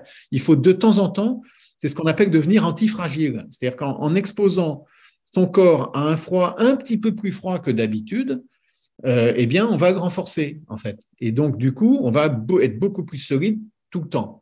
Donc, il ne s'agit pas d'être masochiste, il ne s'agit pas de se mettre euh, dans des piscines d'eau gelée euh, du matin jusqu'au soir, du tout, mais juste le fait de s'exposer à un petit peu plus de froid de temps en temps et un petit peu plus de soleil ou de chaud aussi de temps en temps, sans se faire griller comme un homard, évidemment. On ne cherche pas les coups de soleil ça va permettre de renforcer son organisme et d'être beaucoup plus solide, beaucoup plus en meilleure santé et résilient tout le temps.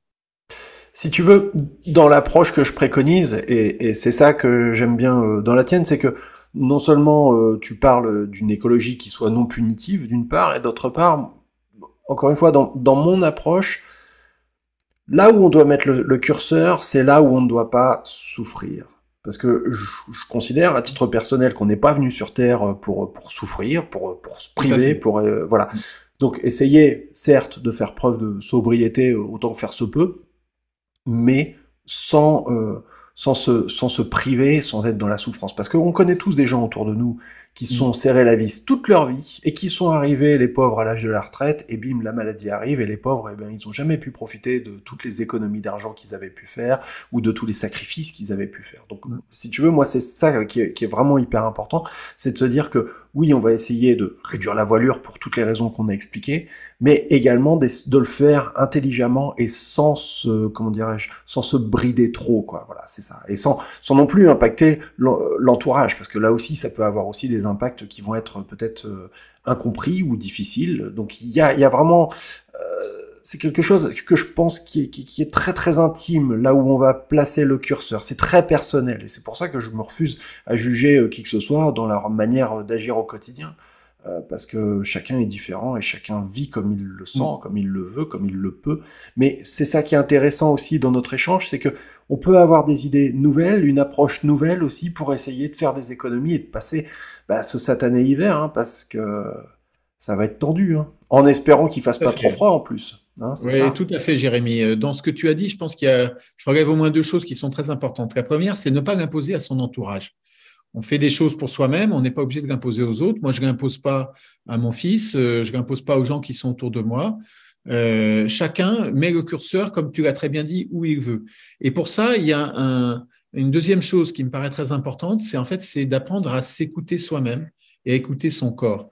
Parce que notre, organisme nous donne des signaux Euh, la limite n'est pas forcément la même pour tout le monde. Il y a des gens qui sont malades, qui ont par exemple un diabète, et qui vont donc euh, être frileux ou moins bien supporter le froid ou le chaud que d'autres, eh bien, il faut qu'ils soient mieux thermostatés, cela. C'est normal, le corps leur, donne un signal, il faut respecter. Quand on sent que c'est trop chaud ou que c'est trop froid, il faut respecter ce signal qui est donné par le corps. Donc, je suis tout à fait d'accord avec ce que tu viens de dire de ce point de vue-là.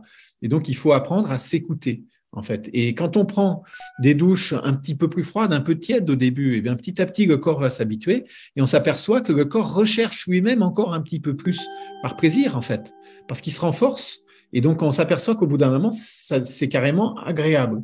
Et il faut suivre ces indications. Et si on fait trop, à un moment donné, on voit bien qu'il y a une limite, que ça devient désagréable. Et à ce moment-là, il ne faut plus le faire. C'est quand justement, on est en train d'aller un peu trop loin.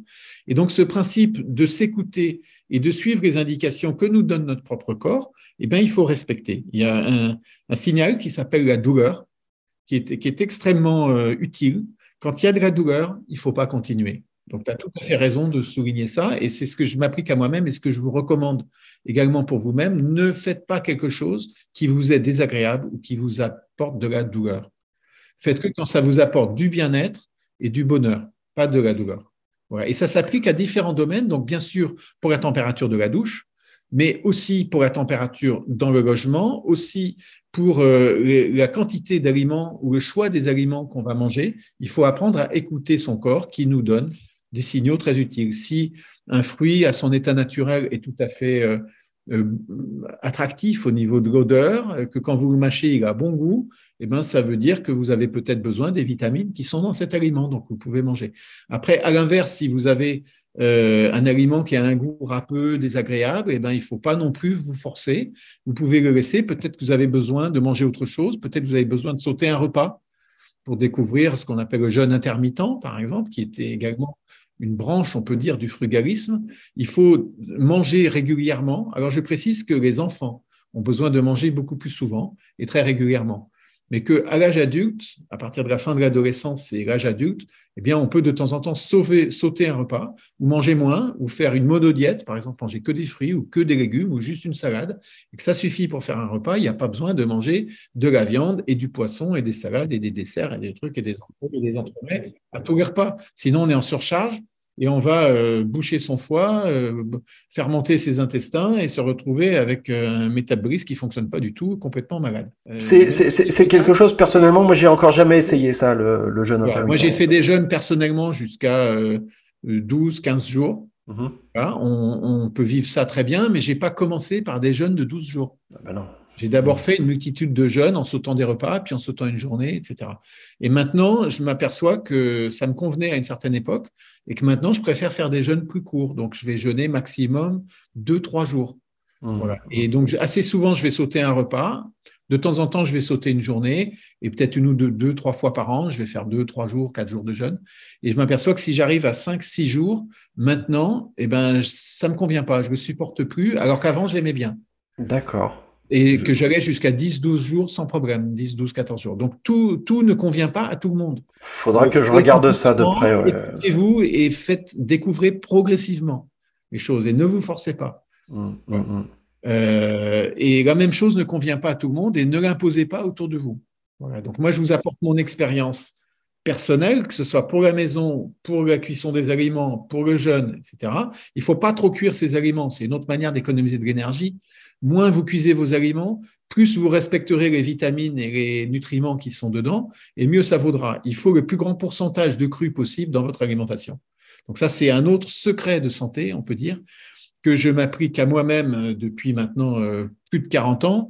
Pour l'instant, tout va bien, j'en ai 62, je me sens encore relativement en forme.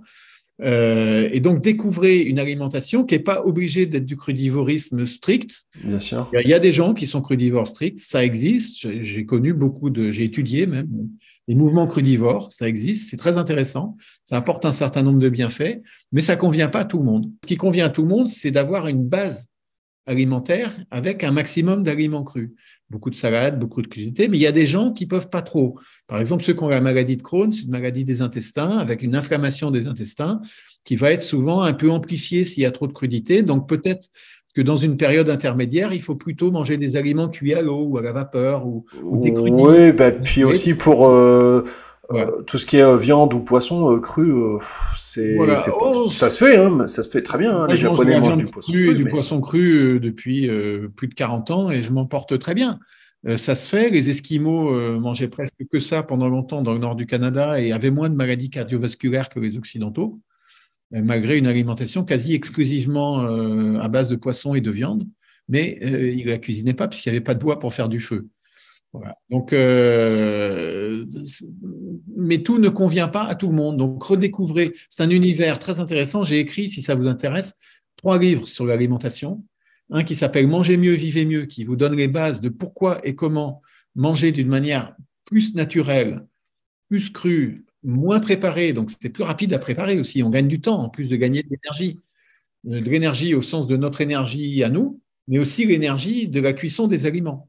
Une autre petite astuce que je vous donne quand vous cuisez vos aliments, qui vous permettra de faire du frugalisme d'une autre manière en, prolongeant beaucoup la vie de votre cuisinière ou de vos prêtres de cuisson chez vous. Mettez toujours, vous ne cuisez qu'à l'eau, plus de friture. Vous faites que de la cuisson à l'eau et euh, vous mettez toujours un couvercle sur la casserole. Parce qu'une casserole avec un couvercle, ça consomme 3 à 5 fois moins d'énergie qu'une casserole sans couvercle, où la chaleur part dans, la pièce et la cuisine et elle est perdue. Donc, vous mettez un casserole sur la couvercle, vous ne cuisez que à l'eau et à petit feu, et vous verrez que vous consommerez beaucoup moins d'énergie, que les aliments seront décrudis, ils seront moins cuits, ils seront aussi plus bénéfiques pour votre santé. C'est la fameuse cuisson à la vapeur douce, si vous voulez, dont on entend parler un petit peu partout. Donc c'est meilleur pour votre santé, ça consomme moins d'énergie, c'est plus agréable. Et comme vous éclaboussez pas tout autour de votre casserole, eh bien votre prête de cuisson, elle va durer aussi beaucoup plus longtemps parce qu'elle ne va pas s'encrasser tout simplement puisque vous la salissez plus jamais. J'ai découvert justement euh, récemment, tu, tu vas peut-être me dire, ah bah oui évidemment, mais, mais c'est un truc que je connaissais pas, j'ai découvert ça il y a deux semaines, le four norvégien. Qu'est-ce que c'est que ce truc? Et en fait, c'est simplement un tiroir dans la cuisine, par exemple, un grand tiroir dans lequel on va aménager un isolant euh, thermique. Et par exemple, quand on va cuire des pommes de terre euh, à l'eau, on va stopper la cuisson, on va retirer euh, la marmite et on va la mettre dans ce, tiroir hermétique, hein, d'accord, qu'on va refermer. Et grâce à la conservation de la chaleur, eh bien, ça va peut-être mettre plus de temps pour cuire les pommes de terre, effectivement, mais ce sera beaucoup plus économique puisque ben, moins d'énergie euh, dépensée. Voilà. Oui, tout à fait. Vous avez d'ailleurs des, des tout ou des systèmes de cuisson isolés qui consomment aussi beaucoup moins, qu'on peut, qui sont programmables. Donc, quand on part au travail, on peut programmer la mise en cuisson à une aussi, oui, tout à fait. Comme la casserole est isolée, elle va consommer trois fois rien et elle garde sa propre chaleur. Et c'est pile cuit, vous programmez l'heure où ça doit être prêt quand vous rentrez le soir. Donc il y a aussi, vous pouvez vous équiper avec ces casseroles qui consomment beaucoup moins que les anciennes casseroles en ferraille qui sont des passoires thermiques en fait. Mais déjà, sur votre passoire thermique en ferraille, si vous mettez déjà un couvercle, vous allez déjà diviser par environ 3 la quantité de kilowattheures qu'il vous faut pour faire vos pommes de terre euh, à la vapeur ou, votre steak euh, cuit avec le même degré de cuisson. Donc, il y, a, différents euh, systèmes comme ça qui peuvent être faits. Personnellement, ce que j'ai installé chez moi, c'est un système de, de j'appelle ça la cuisson à ultra basse température. Donc, c'est à chaud mais on, sans dépasser 40-45 degrés de température. Et ça permet déjà de faire cuire la viande, le poisson, mais en cuisson ultra douce. C'est-à-dire qu'on va juste à peine faire fondre un tout petit peu les graisses. Et la viande, le steak, il va devenir un marron, si vous voulez, il va changer de couleur comme quand il cuit, mais il sera jamais grillé ou noir. Mmh, mmh. Vous savez que grillé, c'est ce qui est a de plus toxique dans la viande cuite. Voilà, donc en cuisant soit à l'eau, soit à ultra basse température, comme je suis en train de vous expliquer. donc moi j'ai un petit séchoir qui fonctionne. C'est un mode, en fait c'est un gros frigo dont j'ai modifié le système de fonctionnement du moteur et qui donc c'est un système de cuisson des aliments par pompe à chaleur. Donc c'est un truc unique, ça n'existe pas dans le commerce. Mais en bricolant un frigo, vous pouvez vous faire une, cuisinière pompe à chaleur qui consomme cinq fois moins d'énergie et qui ne cuit les aliments qu'à ultra basse température, non pas à l'eau, parce que la cuisson qui existe dans la nature, c'est pas une cuisson à l'eau. Les chimpanzés, ils vont pas tremper leurs patates dans l'eau pour les faire cuire. Hein. la cuisson qui se fait dans la nature, c'est une cuisson à l'air ou au soleil. D'accord. Et qui ne dépasse pas les températures qu'on rencontre couramment dans la nature au niveau du biotope primitif pour les humains, c'est-à-dire de l'ordre de 40-45 degrés maxi. Mmh. théoriquement, il faudrait cuire, quand on veut faire cuire un aliment à l'air, à 45 degrés maxi, pour que ce soit adapté à nos enzymes digestifs, à notre digestif, à notre biotope primitif, etc. Donc, euh, et ça permet déjà de faire cuire à 45 degrés, en fait, les viandes ou les poissons avec euh, ce, côté délicieusement moelleux des graisses un petit peu fondues, si vous voulez, comme quand vous faites cuire une bonne côte de bœuf. C'est quand même délicieux et vous avez la graisse qui commence à perler un peu. Mais vous avez ça en cuisant juste à 40 degrés. Et à ce moment-là, vous n'avez pas le côté grillé qui est toxique et nocif pour la santé. Vous risquez pas d'attraper le cancer et euh, vous consommez beaucoup moins d'énergie puisque vous cuisez à beaucoup moins haute température. Donc, il y a des tas d'habitudes que vous pouvez changer dans votre mode de vie. Donc, moins cuisiner. Euh, de temps en temps, sauter un repas, c'est meilleur pour votre santé. Cuisiner à plus basse température, à l'eau plutôt qu'à l'huile ou en grillade. Voilà. Et tout ça, ça va vous faire économiser et des kilowattheures et votre santé en même temps. Et oui, bien sûr. Et couvrir les casseroles, très important. On ne l'impose pas aux autres parce que tout ça, c'est aussi des choix individuels. Donc, euh, ben, ne l'imposez pas forcément à votre partenaire qui peut mal le prendre. Habituez-le petit à petit. Il faut le prendre plus comme un mode découverte. Tiens, on va tester ça, on va voir si c'est sympa, pas sympa, si c'est meilleur, si c'est moins bon. Ou alors, tiens, on pourrait le faire pendant une semaine ou dix jours pour voir mmh, mmh, comment on mmh. se sent à la fin des dix jours. Et puis après, on, on adaptera, on verra si on continue ou pas. Donc, faites vos expériences plutôt. Et puis après, vous voyez si ça vous convient, si c'est meilleur pour vous ou pas, ou si vous préférez votre ancienne habitude ou tester encore autre chose. Voilà, chacun son chemin. J'ai une dernière question, plus à long terme, puisque là, on a vu quelques techniques, quelques astuces qui peuvent rentrer dans le cadre d'un peut-être un nouveau mode de vie ou enfin bon voilà, chacun voit midi à sa porte, mais peut-être à plus long terme.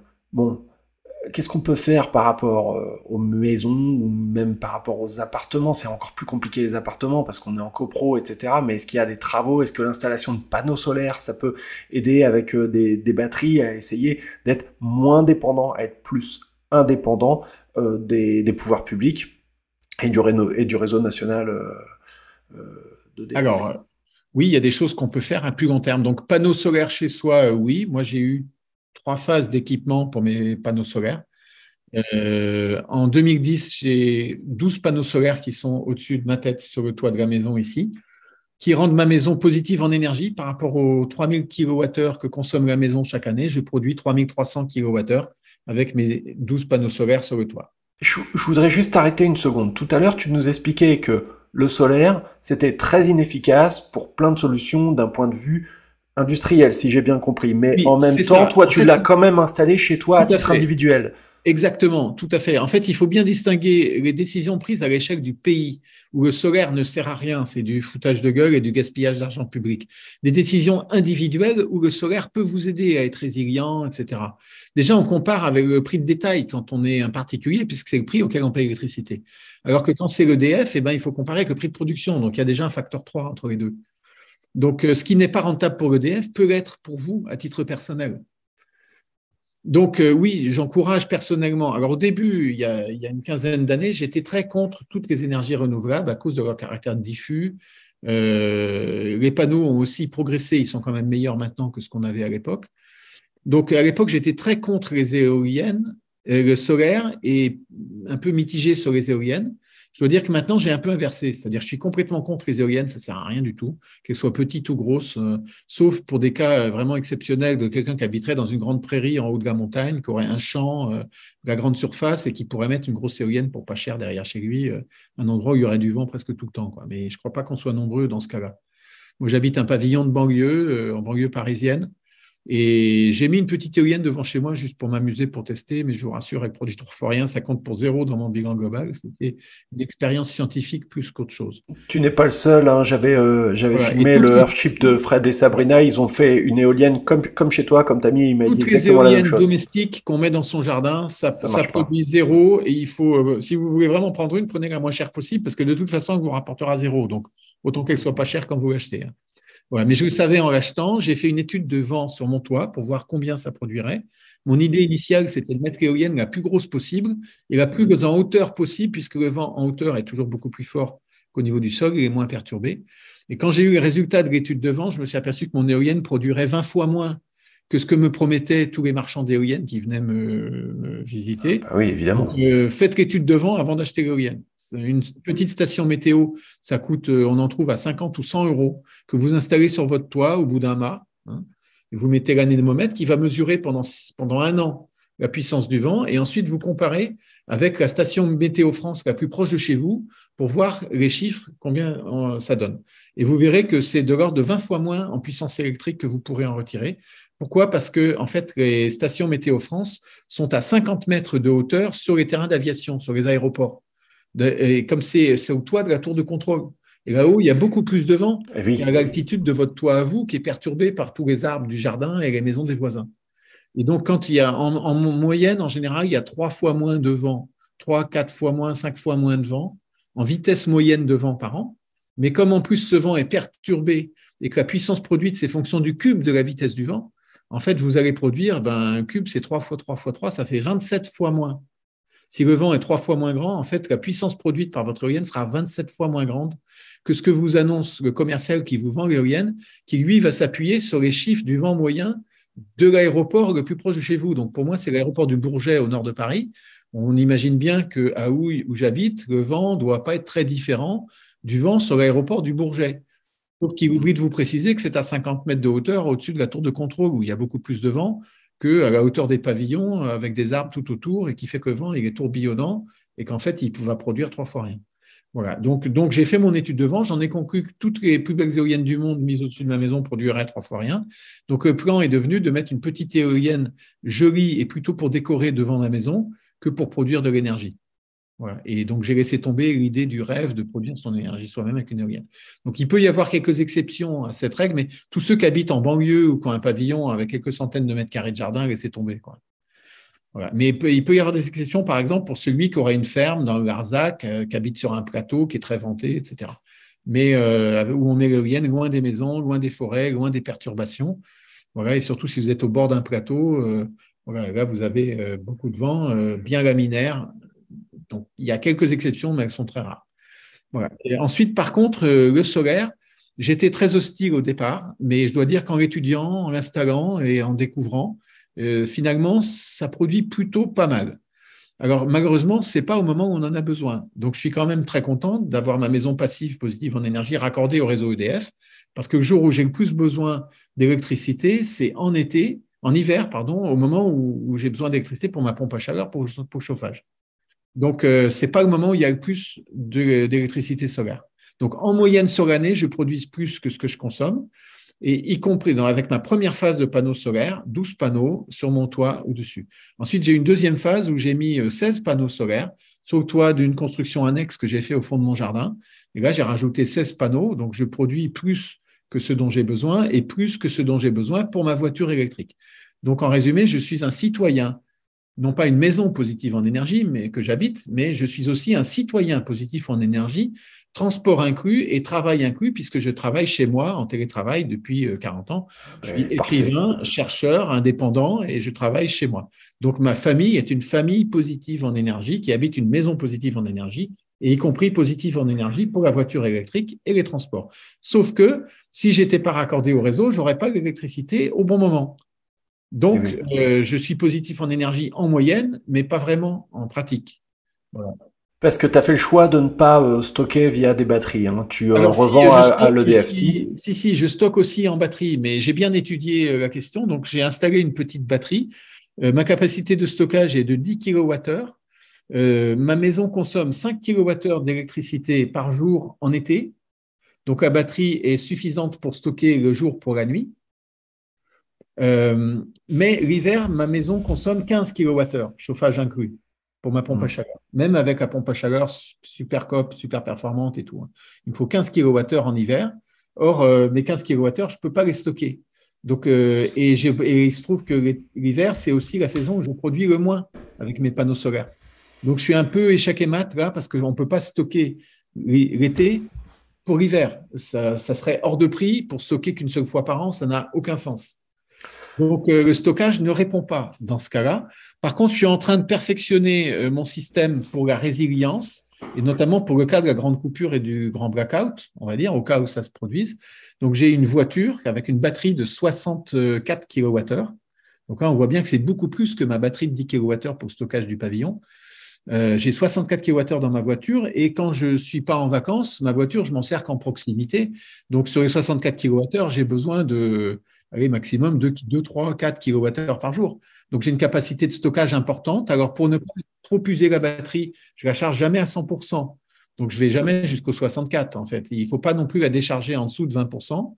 Donc, en fait, j'ai la moitié de ma capacité de ma batterie, c'est-à-dire 30 kWh, qui sont disponibles pour faire ce que je veux, soit pour rouler, soit pour utiliser dans ma maison. On la montrera quand je viendrai pour euh, la, montrer ta maison, parce que c'est quand même assez incroyable. Hein. Tu as couplé un puits canadien avec une pompe à chaleur, avec une isolation de Oui, c'est ça. En fait, j'ai tout fait dans la même maison. Euh, et tout est interfacé d'une manière optimale et avec un prix qui est raisonnable pour que ça coûte pas cher. Et l'idée, c'est d'être résilient. Donc, il y a à chaque fois plusieurs systèmes. Par exemple, pour la ventilation, j'ai mon puits canadien, mais je peux utiliser ou pas mon puits canadien. J'ai deux systèmes avec un bypass. Ensuite, je peux aussi ouvrir les fenêtres et ventiler comme tout le monde. Donc, en fait, j'ai trois systèmes de ventilation, comme tout le monde, ou par le puits canadien, ou par la VMC double flux, mais sans passer par le puits canadien. Pareil pour le chauffage. En fait, la résilience, j'ai euh, quatre systèmes de chauffage euh, différents.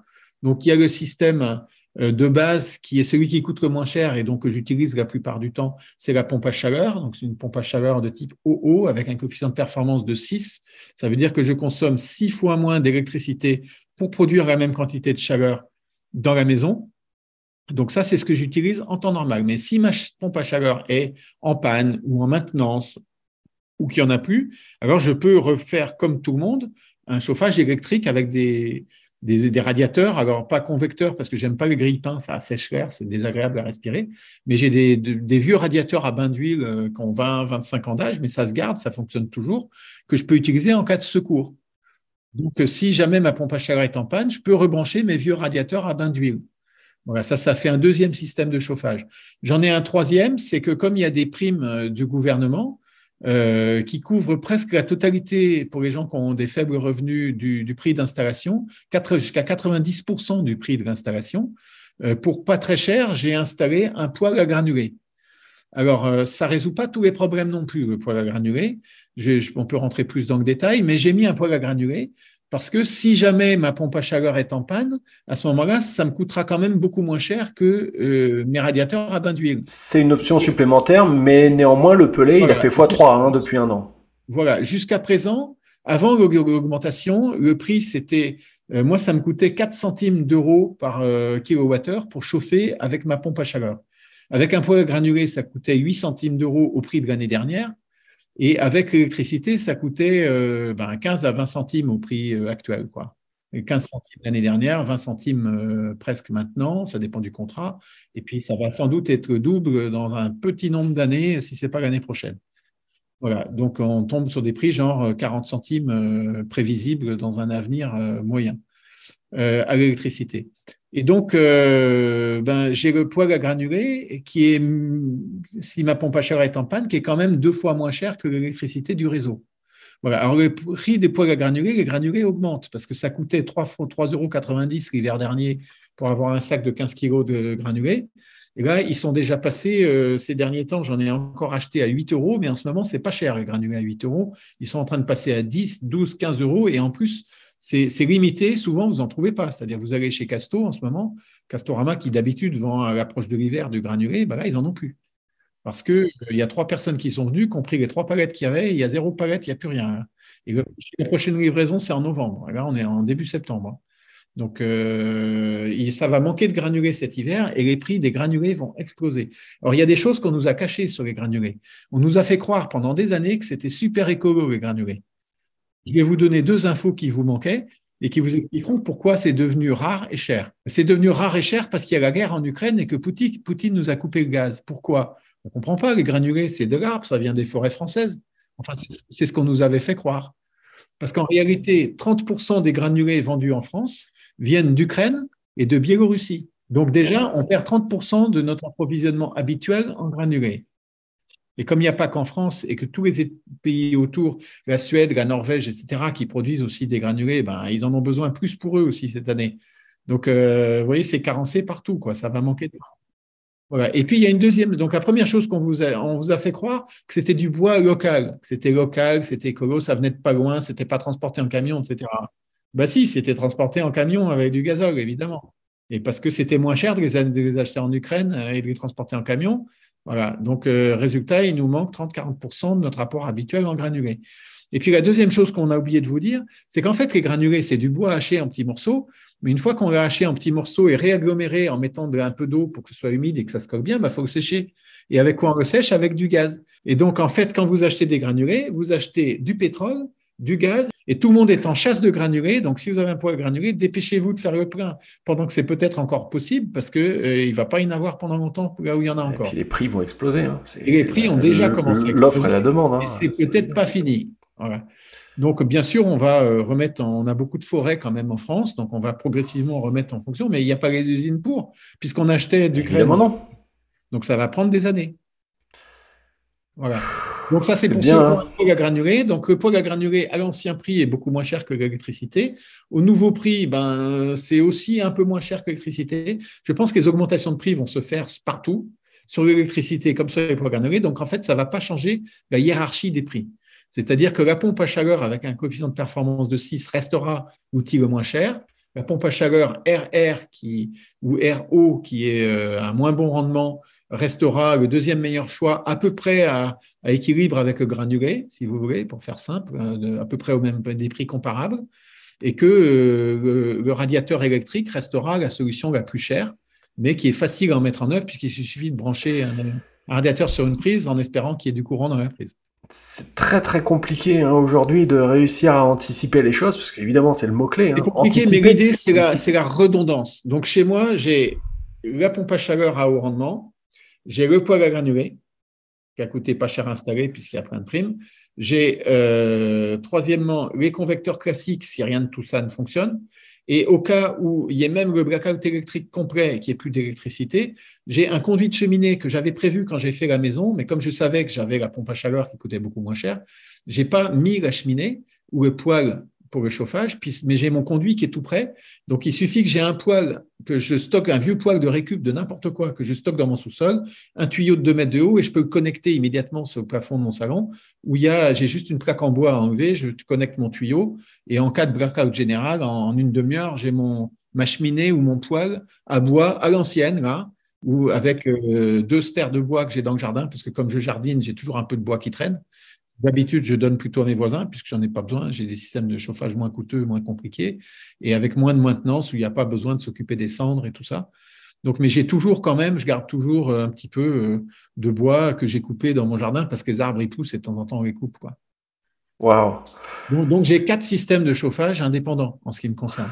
Mais l'idée, c'est ça, c'est la résilience. Donc, tout le monde n'en a pas forcément quatre, mais si vous en avez au moins deux, ça vous permet déjà de voir venir quand il y en a un qui est coupé, en panne. Mais Bruno, cette discussion est passionnante, mais ça ouvre tellement de portes. Enfin, je veux dire, il faudrait qu'on fasse euh, dix échanges comme ceux qu'on est, comme celui qu'on est en train de faire, parce que ça m'ouvre des, tas d'idées, des tas de thématiques euh, avec lesquelles, euh, dont j'aimerais discuter avec toi, de, parler de survivalisme, de choses comme ça, parce que je suis certain, enfin, c'est même pas, je, je le sais que tu as plein de choses à nous raconter, mais par rapport à notre problématique là ici, et je pense qu'on s'arrêtera là. Et est-ce que tu aurais un dernier conseil, un, dernier message que tu voudrais faire passer aux personnes qui se retrouvent dans une galère noire, qui ont du mal à joindre les deux bouts, là ici, qui vont se retrouver avec 15% pour 2023 parce qu'on est sympa, hein, en plafonnement de 15%, voilà. 15% sur l'électricité et 15% sur le gaz. Et voilà.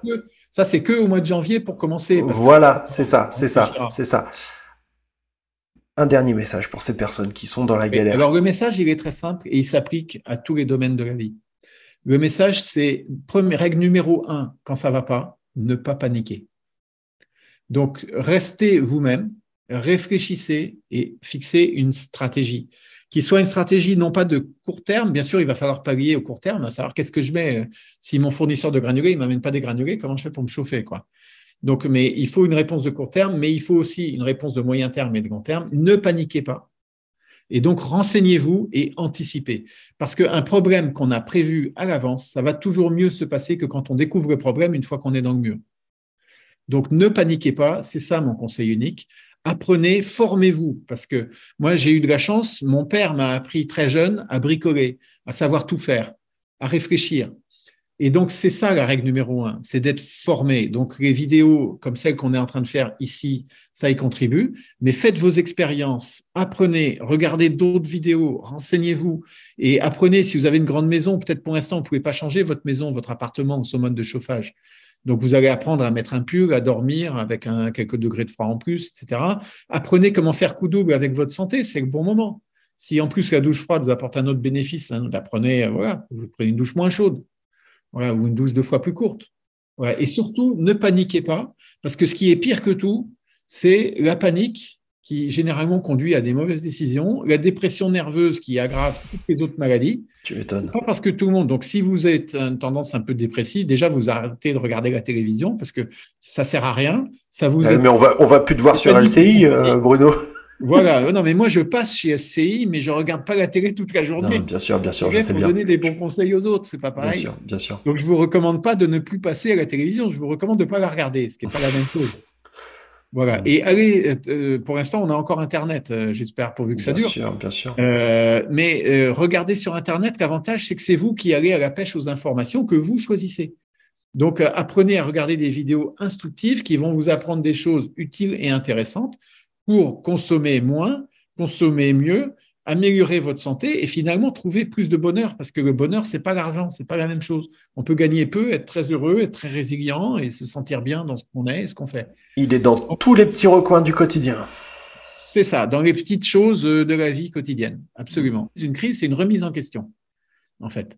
Et vous pouvez soit plonger parce que vous vous laissez aller dans le défaitisme ambiant, le pessimisme, ou alors vous pouvez au contraire, et c'est un autre aspect de ce que j'ai mis en place sur Internet. Il y a un site Internet qui est le site du mouvement optimiste que je vous recommande.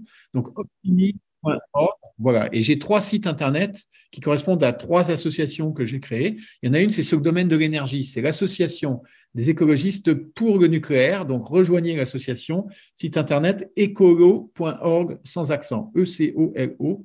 .org. Deuxième site internet, c'est pour la santé préventive. Donc apprendre à vivre en meilleure santé avec moins d'argent, avec moins d'aliments, avec euh, dans un monde perturbé, mais il y a des règles simples en fait. Donc c'est combi.org, c o m b y.org. Vous y apprendrez aussi à mieux dormir puisque je suis également un expert de la sieste en plus d'être un expert du nucléaire et des techniques de sommeil rapide. Je vous recommande pour ça également, j'ai écrit 24 euh, euh, chroniques pour le site atlantico.fr. Donc, vous allez sur le site Atlantico, c'est gratuit. Là, vous cherchez dans le moteur de recherche Bruno Combi et vous trouverez 24 articles sur les techniques de sommeil ultra rapide. Sommeil fractionné, sieste, etc. On peut le mettre dans la description en bas de la vidéo. Et le dernier site, donc, c'est le mouvement optimiste c'est pour changer votre conception, votre approche psychologique de la vie et profiter de ce qui abat les autres pour vous, que ça vous fasse un homme plus heureux, plus épanoui, de meilleure humeur. Et c'est l'occasion de votre vie pour apprendre. Et j'ai également dix livres, donc sur tous ces sujets, qui balayent un peu les différents sujets, euh, qui euh, sont disponibles en 15 langues, si vous parlez même pour vos amis dans d'autres langues. Et voilà. Et donc, il y en a trois sur l'alimentation. Mangez mieux, vivez mieux, renforcez votre immunité et délicieux insectes. Donc, les insectes dans la nature, c'est gratuit. Il y en a plein. La masse alimentaire des insectes, c'est dix fois la masse euh, des mammifères. Hein, qui est disponible en abondance. Ils se reproduisent beaucoup plus vite. Donc, c'est une manne extraordinaire, les insectes. C'est délicieux sur le plan gastronomique. Vous m'avez sans doute vu dans des émissions de télévision depuis, pareil, une trentaine d'années euh, en train de remettre ça au goût du jour. il y a beaucoup de choses qu'on peut découvrir. Pour la petite anecdote, quand je t'ai euh, re-rencontré euh, récemment, en vérité, moi je te connais depuis 2006, puisque j'avais un ami à moi qui, qui, avait fait une émission sur les, insectes et qui était venu à, ta rencontre parce que c'était une thématique sur laquelle tu communiquais beaucoup à cette époque. Bref, Merci infiniment Bruno, c'était un plaisir, vraiment c'était un échange hyper enrichissant et passionnant, je dois le dire. C'était vraiment un, grand plaisir et un honneur aussi d'avoir euh, un spécialiste du nucléaire sur euh, la chaîne qui peut vraiment nous expliquer en détail les tenants et les aboutissants de cette crise et peut-être aussi des solutions que vous allez pouvoir mettre en place pour essayer de mieux vous en sortir. Bon, on va essayer de faire euh, du mieux qu'on peut, comme on peut, mais il faut être clair, hein, on va tous en pâtir hein, de, cet hiver, ça risque d'être compliqué. Voilà, je vous souhaite euh, bah, tout le meilleur et merci beaucoup Bruno. Merci à toi.